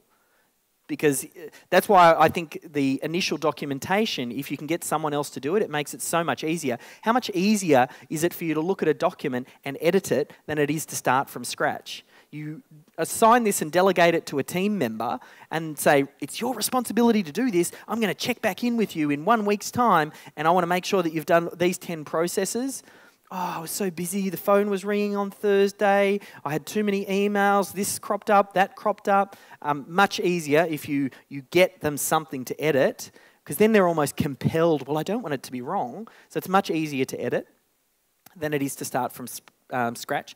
Then you would submit it for some sort of review. Now, always within your business, uh, you want to have two people who can do a task. You've got the primary person, and you have to have a secondary person. Uh, so that way you've got the redundancy if someone goes on holiday, they're sick, whatever, um, you've got that backup there. So the, the primary person teaches the secondary person. More often not, the best time to test your system is by teaching someone else once it's documented. Or when you get a new staff member, they're the best. Get a brand new staff member, start showing them the systems and the processes, and watch where they ask the questions. That's where you have to do the systems improvement because it's not necessarily clear for them. And then, yeah, you, you just want to encourage the use of systems. And once you take on this systems thinking as the business owner, you always need to go back to your staff. Oh, where's the system for that? Have you got that documented? Oh, can you send that through to me? Um, I love to tweak the system. Uh, I, I don't. Um, I don't give feedback to staff as much now. Like Melissa, who runs Melbourne SEO and video now, I used to be a little bit of a, I'm a reformed micromanager, um, and I used to love to jump in and say, oh, you should have done things this way or that way or whatever. Um, and she said, no, no, no. The way that we need to do it is channel it back into the system. So I go in and I find the appropriate system. If I want to tweak an email template, I tweak it right in the system. So that way, next time it's done correctly. Or I find out who the system owner is and I give them the feedback. I don't go to the person who's executed the task and say, oh, you did this or that wrong. It's, it's always about improving the systems. So this uh, process, it's, it's easy. Um, I shared this idea with David Warren. That was the guy uh, Tim Reed introduced me to, uh, based out of the, the Philippines, runs the BPO, used to run the Tall Ships Company. Uh, and as soon as he heard this process, he's like, I, want you to do this for me. I want you to sit down and guide my team through it. Because he's obviously got his Philippines based team. So he assigned two staff member to work on this process over the course of three to six months. And I worked with them to document their processes and their procedures, just under some guidance. Uh, and now I can't take credit. Like Dave's a very smart guy and he's, he's great operator and grows business. But the growth that he has seen, I can say without a doubt, and he would agree, that without this documentation, he would not have been able to grow at the level he has without this in place. Like it's critical. So it's going through this process will get the result. Um, then we need to talk about well, how do we actually organize this? Once it's captured, where does it get organized? now, there's, there's two ways to do this. You can do it the easy way or you can, can do it the hard way. The, the, the lessons here around systems and processes is that it has to be central. It has to be cloud based. Everybody has to be able to jump in and grab it when they need it. Um, it needs to be easy. Um, you, you don't want anything with feature bloat. You don't want anything that overcomplicates things. In fact, uh, too many features is actually it's the enemy of systemization. You also want to avoid mixing project management with software, uh, sorry, project management with document management. Some people try and get their systems documentation software to also assign out who's doing what by when. So they'll inside they'll have a system and then they'll say you should be doing this then. But oftentimes, if if a tool tries to do both documentation um, management and project management at the same time, they actually do uh, neither very well. You'll, you'll see the difference between a project management tool is like Asana, um, Basecamp, Trello, Teamwork PM. Like there's tons of them. Podio, any of these names sound familiar? What do people use? What's the recommended uh, teamwork? Teamwork? Like that, the, what is the purpose of teamwork software? It is to identify who does what by when so there's some accountability. Yes, you can use email to do that it just does a really, really bad job of it. That's why people use project management tools. And it's the same with systems documentation tools. The system and documentation tool is about the how to. How is it done? So in your teamwork, you might say, here are the five steps, and here are the people that have to do it. And you assign it to them and have a due date. But if they don't know how to do it, you have to then link to some training that explains how to do that particular step project management tool is not the right place to store that. Soft, like documentation management is. Um, we used to try and use Dropbox. I tried to use Google Sites. I tried different wiki programs. A lot of them had a lot of different problems. The biggest thing, really, it's they weren't intuitive, and if there's friction in capturing systems, you lose. The team won't do it. You have to make it so simple that anybody can run with it. So we ended up. Um, I was doing a little bit of work with uh, gyms, the gyms group, And I asked them, what, what do you use for documentation management? I said, oh, we use Dropbox. And I said, oh, tell me a little bit about that. What, what, them, they are the poster child when it comes to systems and processes. I mean, they're a franchising company with so many different divisions and they use Dropbox. I said, oh, the problems we have with Dropbox.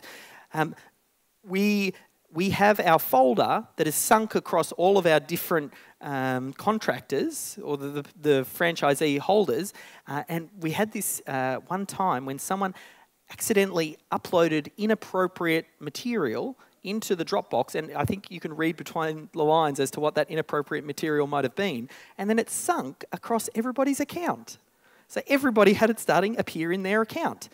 They had other situations where someone accidentally deleted a folder and then it disappeared everywhere for everyone. So the, I found it, yeah, for me, that was like, well, we, we were having some similar problems and we were seeing the same with Google Sites. So that's why we ended up developing our own software solution. That's what System Hub is. Um, took me four years to develop. Spent a good few hundred thousand dollars on getting it developed. I'll show you briefly about it, but here's a nice little video that um, uh, my video guy made. So this particular platform, and there's just a screenshot there. If we've got a little bit of time at the end, I'll kind of jump in, but it, that kind of gives you an idea. It's, I mean, if you know how to use Windows, uh, if you know how to use Finder, um, then you know how to use System Hub. It's folder-based structure. It's um, cloud-based, easy to use. You can get quite tight with your control around sharing and permissions. Um, it's got the ability to print uh, like a, a, set of processes based on department. So let's say you've got a new marketing assistant they're starting, or maybe you've got a retail store and you, you need a manual for, for how you do operations at head office or answer the phone or whatever. You could print out manuals based on a department, or you can just run it straight from the cloud. And that's probably a little bit outside of the scope of what we'll go into now, but that's, yeah, the way that we've done it. I'm extremely proud of what we've done, uh, and I, I, think it's a little bit of a game changer. I, I, will show you a little bit towards the end. We'll just kind of see if we've got a little bit of time. But I showed this guy here, uh, Brian Keane, what we were doing. Uh, he runs a company called Franchise Simply. Uh, he helps businesses franchise, and as soon as he saw this, he said, every franchise needs this. I mean, that's at the heart of franchising. It, it is systems. That's effectively what you're selling when you're selling a franchise. So um, they've taken that on board, and then now we're working with some really interesting companies. Everything from a a company that hires out mobile abseiling walls to um, yoga studios to companies that help grind rock floors to a cleaning company. Like we've started to apply this into a whole bunch of different verticals and getting some, some really great results. So uh, the, the, purpose I, I, I say that is just, again, to squash that monster in your head that says, yeah, but I'm different. You know, I, I work online, I work offline, I work in Australia. I work in Africa. I, I, my job is too creative. My job is not creative enough. My, like, you, if you're looking for an excuse, you'll find them. Like, there's plenty of different excuses, um, but they are just excuses. You will have to cross this bridge at some point, fact, if, if you want to grow. So then we kind of move into, we're into the, the final run now. We're around uh, optimization. So the way to optimize I mentioned this a little bit earlier, optimization will happen by default. So just by capturing the way that you're doing what you're doing will get the team to ask, is that the most efficient manner? Then beyond that, once you start to see business as a collection of systems, you can start to look at things from an elevated perspective. And you'll start to see when you do the flow charting exercise, you'll start to see where you are deficient in your business. Because quite often, when a business owner starts a business, they're usually strong in a couple of different things. Maybe they're the technician, or maybe they're very good at marketing. Like, usually, they are good at one or two things, uh, but they often forget that business has all of these different divisions. Maybe their finance is shot. Maybe they're very bad with their HR, so they keep on having staffing issues. Uh, and it's, it's because they're not seeing their business as a whole and, and recognizing the different departments. So once, once you flowchart out your entire business and then you can start to see where you're missing things, then uh, you can check. Well, you can go to the, the Business Systems Summit and you identify what, where you're struggling, or you jump into uh, the Academy and you, you have a look at, well, what are some of the recordings from the past session? Okay, I'm having trouble, trouble with sales. Well, where can I go and find a, a system or a process on sales that I, we can document and then implement into the business?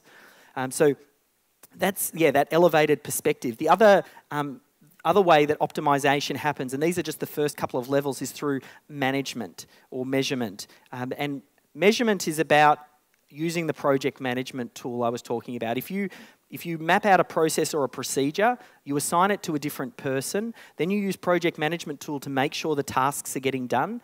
Just by watching where things are breaking down, you can optimize that way. Like if you follow those three steps, you'll get really good wins. Yes, there are ways to speed this up. Yes, you can be more efficient if you've got money to throw at this and if you're a bigger company and you've lagged in getting systems in place, then you, you can hire the consultant. They can come in and architect the perfect system or process to solve that problem that you've got that's tailored to you, and then the rest of your team can follow it. But these three steps work very well for someone if they're just getting started out and they're still, you know, trying to bootstrap this and keep it as tight as they can. But project management is um, one of those tools that, that, I'll show you a little bit maybe in our Asana tool um, how, how we use it. Um, that's probably a good way to do it. Uh, okay, let me do that. I'm going to jump over to Asana. And the way that we think about our business, uh, if you can see that okay, um, these are templates. These are all of the different products and services that we sell, you know, infographics, videos, uh, website builds. Um, and these are just uh, templates here. Uh, there's a system over in System Hub over to the master template. Oh, bad internet, but there we go. Um, we'll have a look at that system in a second. But there's the overall system that explains how this is done. Then underneath that, then we've got all of the main core steps in the process. So it's, it's uh, we could then, let's say, you know, someone, we would duplicate this. A client comes on board and says, I want to buy a website from you. So we would set up a project in Asana. We would duplicate this task or this set of tasks into their uh, little project inside Asana. And then we'd have a project manager oversee this, and they would come in here and assign. They'd go, okay, well, step one, number one is done by Melissa. Okay. And that is due on, you know, next Wednesday. So then she would go through and then do that. And then it would be a case of going through all of the different steps. Now, underneath a lot of these steps, we have then the system or the process. If the person doesn't know how to do that step, then there is a well documented system uh, or process inside uh, System Hub that shows how to do that, that task. Now, this is the overall one, so it's a, it's a little bit epic. Um, but then we have, you know, supporting videos, and then there's email templates. So one of the first steps is we make a sale. Uh, the salesperson has to do a handover to the accounts person. And here's the email template that they would do for the handover you know, great to chat with you earlier. I'm going to CC in blah, blah, blah from accounts. I need this information to get you invoiced. Here's the cost, and, you know, here are the next steps. They would come in here, they'd copy that, go over to Gmail, customize that email, and then they'd send, send that off. So we, we have in here the whole process for the way that we deliver um, from yeah the handover, and then what happens after that? Okay, the accounts team. What do we say? I've not created all of these systems, but I can read them. Um, uh, yeah, okay, so then we need to prepare the initial invoice. Once the invoice has been created, then we create a new workspace in Asana. Um, then we need to duplicate the tasks in the workspace. That's what I was telling you. Um, okay, they set up a Dropbox folder. Uh, accounts they tick off that they've done the subtasks. And there's a mother thread that the project manager takes over. So it's just to give you a bit of an idea. And we've done this for all of our different products and services that we sell. Like if I go back to here, you know, um, let's make sure I'm looking at the right one. No. Might have drilled in. Uh, I've changed the wrong screen. Oh no, there we go. Melbourne. Okay, so this is a This is a video package. So if someone buys a video package from us, again, an overall system that explains how it's done, uh, the steps from discovery call. So if you imagine systemizing your business down to this level, this is how things get done to a certain standard without me involved now.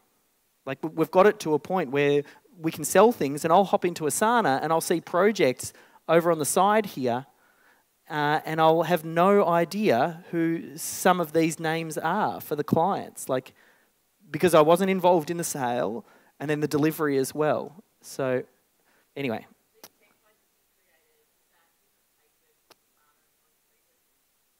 Uh, we've created the templates. I'm, I'm not familiar with the free version that much. That, that is a paid version of Asana, but it's just templates. Team, teamwork, teamwork will do the same all project management tools, they'll have master templates that you can set up, uh, and then you just duplicate it, and then you link it together with the how-to. But that's how your project management tool and your systems documentation tool work together to create a really great result. Um, helpful? That, this one's called Asana. Um, Podio, Teamwork, that's the one. Um, Basecamp, Trello, uh, try not to get too caught up in what the software is, as long as you've got something in place that solves that problem. It's, it's not, not about the software. The only piece of software that you need is System Hub. the, um, so we're up to integration now, which is we're into the final run now, uh, and we talked about some of the problems, like why do people fail when they try and integrate this into their business? Um, I can't go through everything, but there's a few key ones. Uh, and, and I want to give you the high level so you can uh, understand it. I mean, it needs to start with the business owner. You have to have the breakthrough to go, systems thinking is the way forward. Um, you will need to, at some point, get a systems champion to sit side by side with you in the business at some point because you're the worst person to do the documentation. Um, but then you also need to get the team on as early as possible into this process. They need to be involved with this, especially if you've got an existing team. And if you've got an existing team, there are different resistances. The, the, the way to overcome the resistance is to understand what's in it for them. Like, why, why the, has the person, or why would a staff member want to document their systems and their processes? Are you going to get me to document my systems and processes and then shift my job offshore to an emerging economy where someone can do my job for $10 an hour? Well, that's a little bit risky. Maybe I'm going to do a real crap job at documenting this process. So you have a poor experience over there, offshoring, and then you go, that doesn't work. I might as well keep everything local. Like, you, you have to think why? What is it in it for the person to do the documentation? So, firstly, you need to get the team, everybody, at least your leadership team, involved as early as possible to understand hey, we've reached this plateau, we're stuck here. For us to break through, we have to do the systemization. What is the benefit for them? If, if we document this, this enables you to move up in the ranks. Now you become a department head who oversees a larger team beneath you. You're more valuable to me at this point in time. I can afford to pay you more now because you're a, a leader like uh, you're creating opportunity by, by getting them to delegate work to lower cost resources, that frees them up to work on higher value tasks. It's actually in their best interest to document that because it creates the opportunity. Now, in our business, um, that you know, there's the misconception that working with offshore steals jobs from Australian staff. Like sometimes that will pop up. Uh, and the misconception there for us is business is hard enough, right? You, you don't have a margin for error. Labor costs are so expensive in Australia. Uh, what ends up happening is if you move some of those tasks offshore, it creates a little bit of extra margin for you as a business owner, a little bit of extra breathing room. As you grow, that means you can actually hire more local staff. By me offshoring, we've actually ended up hiring more because we, we're growing. And it's, it's ended up being a real good thing. I mean, half of our staff is located locally, and we have half offshore. And, and it's, it's been, yeah, so you need to help them to understand that what we're trying to do here is grow the business improve that efficiency. Um, the other thing it does is it enables them to go on holidays. a lot of team members think if I go away on a holiday, there's pressure on them because they're key person dependent. The business, they're the only person who knows how to do the invoices or, you know, follow up this or that. So for them, uh, it's hard for them to take a break because you, as the business owner, don't want them to go. And then when they come back, they've got an inbox that's 300 emails deep that they then spend the next six months trying to catch up on. Like that, that's pain. Whereas if you can help them to understand, but if we document this and you have someone side saddling you, this means you can go ahead, take some time off. Got stuff going on in the family? No worries. Go address that and then come back and the, the business doesn't fall in a heap. It's all about the system. So you need to help them to understand that. The other thing is, again, it's, it's keeping it simple. Kiss, if you didn't get the connection. Um, don't over document things. Make sure that you um, use a very use something like System Hub where it's easy and intuitive to learn. Uh, only document things that are, are core. Start with that and get everybody involved in the process. Also, have a B1 and a B2. Have a primary person who owns the system and have a secondary person who owns the system as well. Um, or at least backs that person up. So the primary person teaches the other person how it's done, so that way they can take leave and go on holiday. So you want to have a a B1 and a B2, avoid that single person dependency. the other thing uh, as well, uh, to that's all well and good if you've got existing staff. That what I took you through there is about how you overcome some of the challenges for your existing staff. If it's brand new staff, it's so much easier it's just, here's the way that we do things here. And you educate them right up front. You create an onboarding sequence. This is the way that we've done it uh, inside Asana. I'll just go into, there's my cursor. So this is inside our Asana again. Every team member, when they come on board, we duplicate this, and this is our onboarding sequence for them. So they come in here and they watch a welcome video. They go, here's the training on how to use Asana. Here's the training on how to use um, Dropbox, how to use Skype. We introduce our core values. We are a systems run organization. That is one of our core values. Um, policies, guidelines. So we have a structured onboarding process that everybody goes through, and then that is just the way that we do what we do. Like that's a, a fantastic way to um, have someone, and, and if it goes back to that idea I told you before, every business is a school. So that is my learning program for the way that people start means I can get them trained up to a certain level very quickly without any input from me, and it's done consistently. And everybody goes through that same training. So there's no, oh, you weren't taught how to do that? You didn't know that? You didn't know you should be. Mm, if you've gone through and you've checked off the items, you have accepted that I've gone through this training. And then if you don't follow it, it's so much easier for me from a management point of view to then go back and say, why didn't you do this? It's in the system.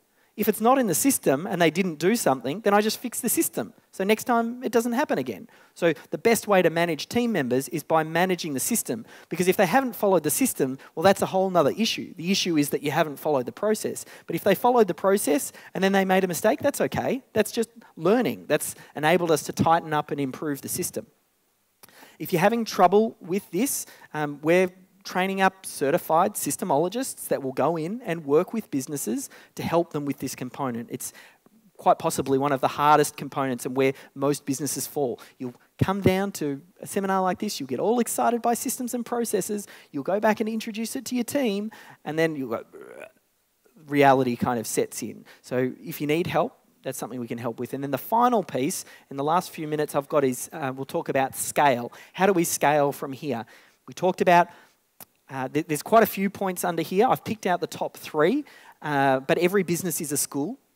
That's if you approach scale like that, you are in the training organization business. So you need a way, the, the things that you need to, to have in place to scale is one, you need a way that you can find staff quickly and hire them, find the right people, good people. Then you need a way that can train and onboard them and then you need a way that can manage them, like a management system. Now, I gave you the management system a little bit earlier. That's what that whole traction piece was about. Um, the uh, recruitment system, I use a, a, thing I developed called the George Foreman method. Uh, the reason I call it the George Foreman method is because you give your staff a good grilling. um, but it, it, the, the process, um, you know, the short version of the process is you get clear on who you need to hire, you write the job ad, you post uh, the, the job ad, you start off by getting them to fill out a questionnaire. Like that should be the first engagement piece. Don't have them send you a CV or cover letter. Get them to fill out a 20 minute questionnaire um, detailing all of the things that are important about uh, that role, why they think they're qualified, what their wage expectations are. Just, just by putting that piece in place, someone who isn't willing to go through a 20 minute questionnaire to apply for a job that they think they're well suited for, that will weed out so many different people. The A player will stick with it and go the whole way through. Then the next step after that is you give them a simple task. So they make it through the questionnaire. Think of it like a funnel. You tip as many people into the front of the funnel as you can, as many people to see the ad as possible. Then only a small selection of those will fill out the questionnaire. Then you give them a trial task. Only a small selection of those people will do the trial task. Of those, you can filter it down even further anyway, because some people are going to do a real bad job at the trial task. Um, then at that point, you might ask for a cover letter and a CV. Now you're only looking at a handful rather than hundreds. Uh, and then you make your final uh, decision to interview. So now you're probably only interviewing a handful of people. We've just filtered down, like down to gold down here. And at this point, if you're still struggling, if you've got two or three candidates that are very suitable candidates, then you might trial them for the role. Give them another trial task, get two people working on it for a week and say you're part of a trial. And that's how you find good staff. Um, yeah, you want to make sure that your business is a training organization. We, we talked about that. Um, and I talked about traction. That is the management component. And, and once you start to do this, you, you'll build your system and your business like a machine, a finely oiled machine. That's the aim of the game. I worked with these guys, uh, Mike and Amy Hamilton. They run uh, uh an agency out of the US, been working with them for three years. Uh, they focus on the chiropractic niche. And we've built up this system, and it's grown. Their business has grown exponentially now, and they're at a point now where they're looking to license uh, their systems and processes into different countries. So that because what they have now is the, the IP of how that business is run and very scalable. That's where the money is. Once you get to that level, that's the complete entrepreneur. You're selling your IP there, you're selling business opportunities, you're selling the systems. Like that's that's that final stage. So there we go. That's systemology. First time I've talked about it. Uh, hopefully parts of it resonated with you. You can use it as a bit of a roadmap. I appreciate you being part of that journey. This will turn into a book at some point in time. It's a roadmap and a blueprint. We've proven it works. The next step for me, just like I did when I launched Authority Content, is I have to collect as much proof as possible.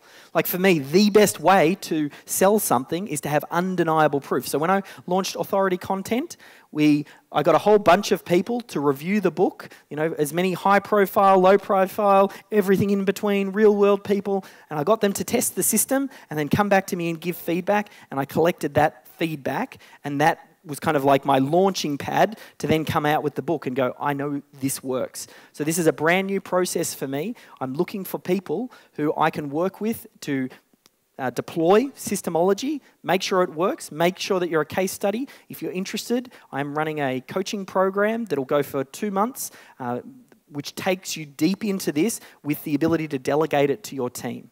Uh, obviously, if you want to find out more about that, you can do it. It's starting at the start of September.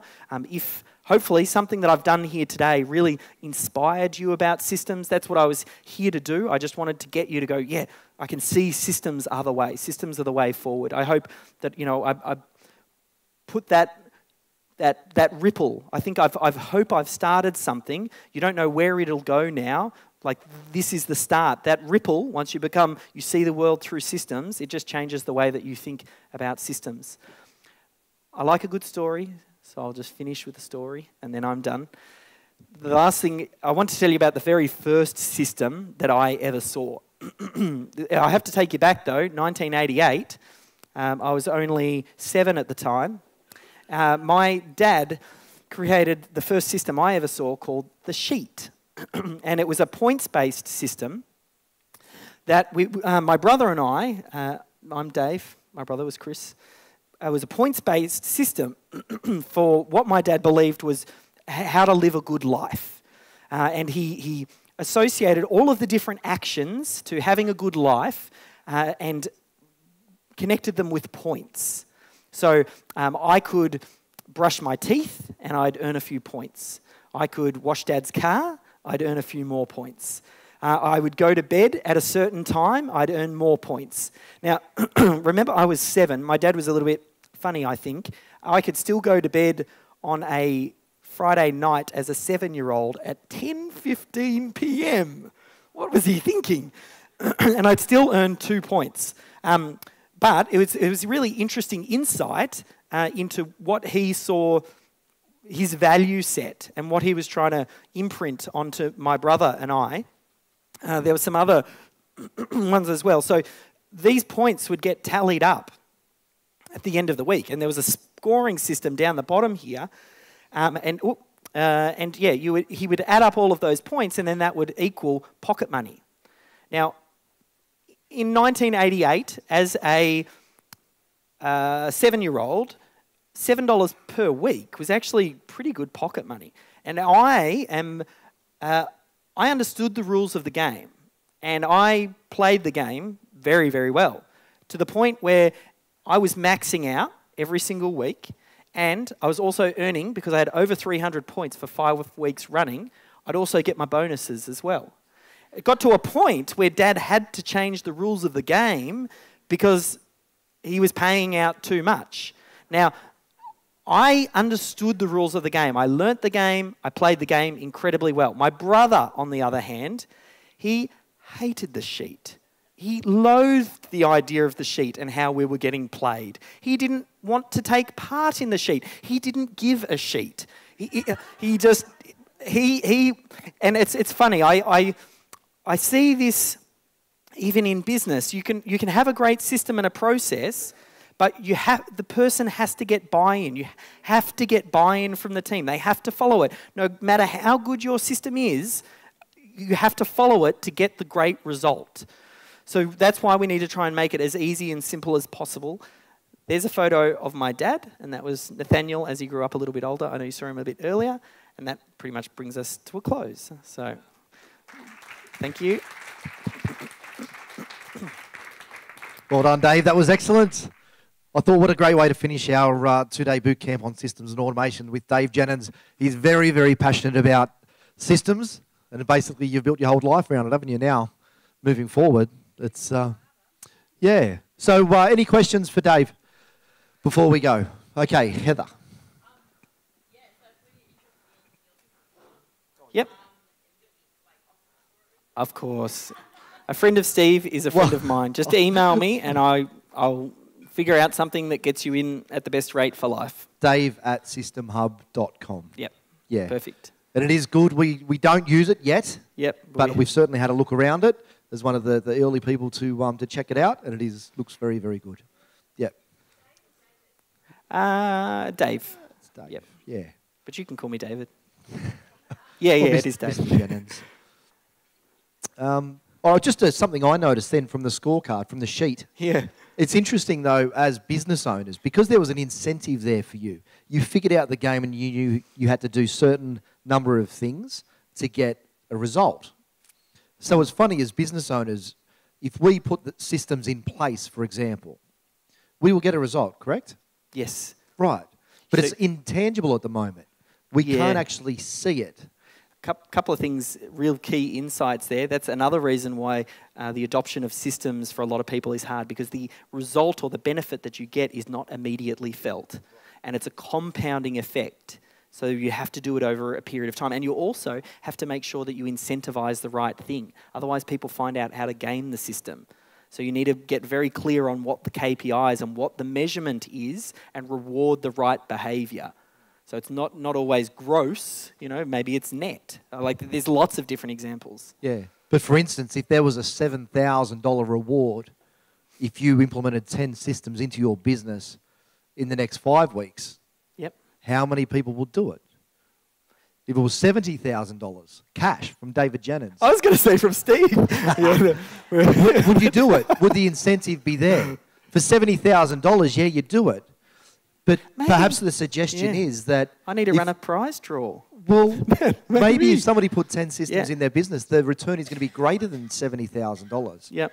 So you almost have to trick your brain into thinking, you know, you, if you can see something tangible, you're more inclined to do it. But just knowing, and mm. you've got to believe in yourself that you will get the positive outcome if you go and implement 10 systems into your business in the next seven weeks. And if, if you think about it, like, I don't think you can argue a case for the fact that you wouldn't get a result. Like, it is the fundamentals. All we're talking about is finding a consistent pro- approach to deliver a consistent outcome. Like, you can't argue that fact. Like, that's what it is.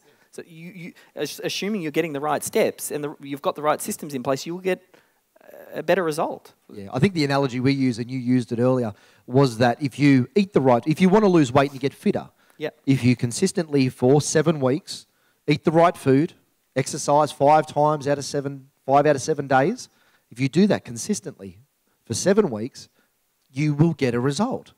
There is just no other way that you will not get the result or closer to the result that you want.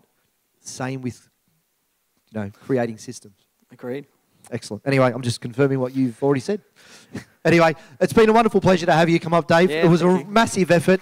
Um, six week old bub at home.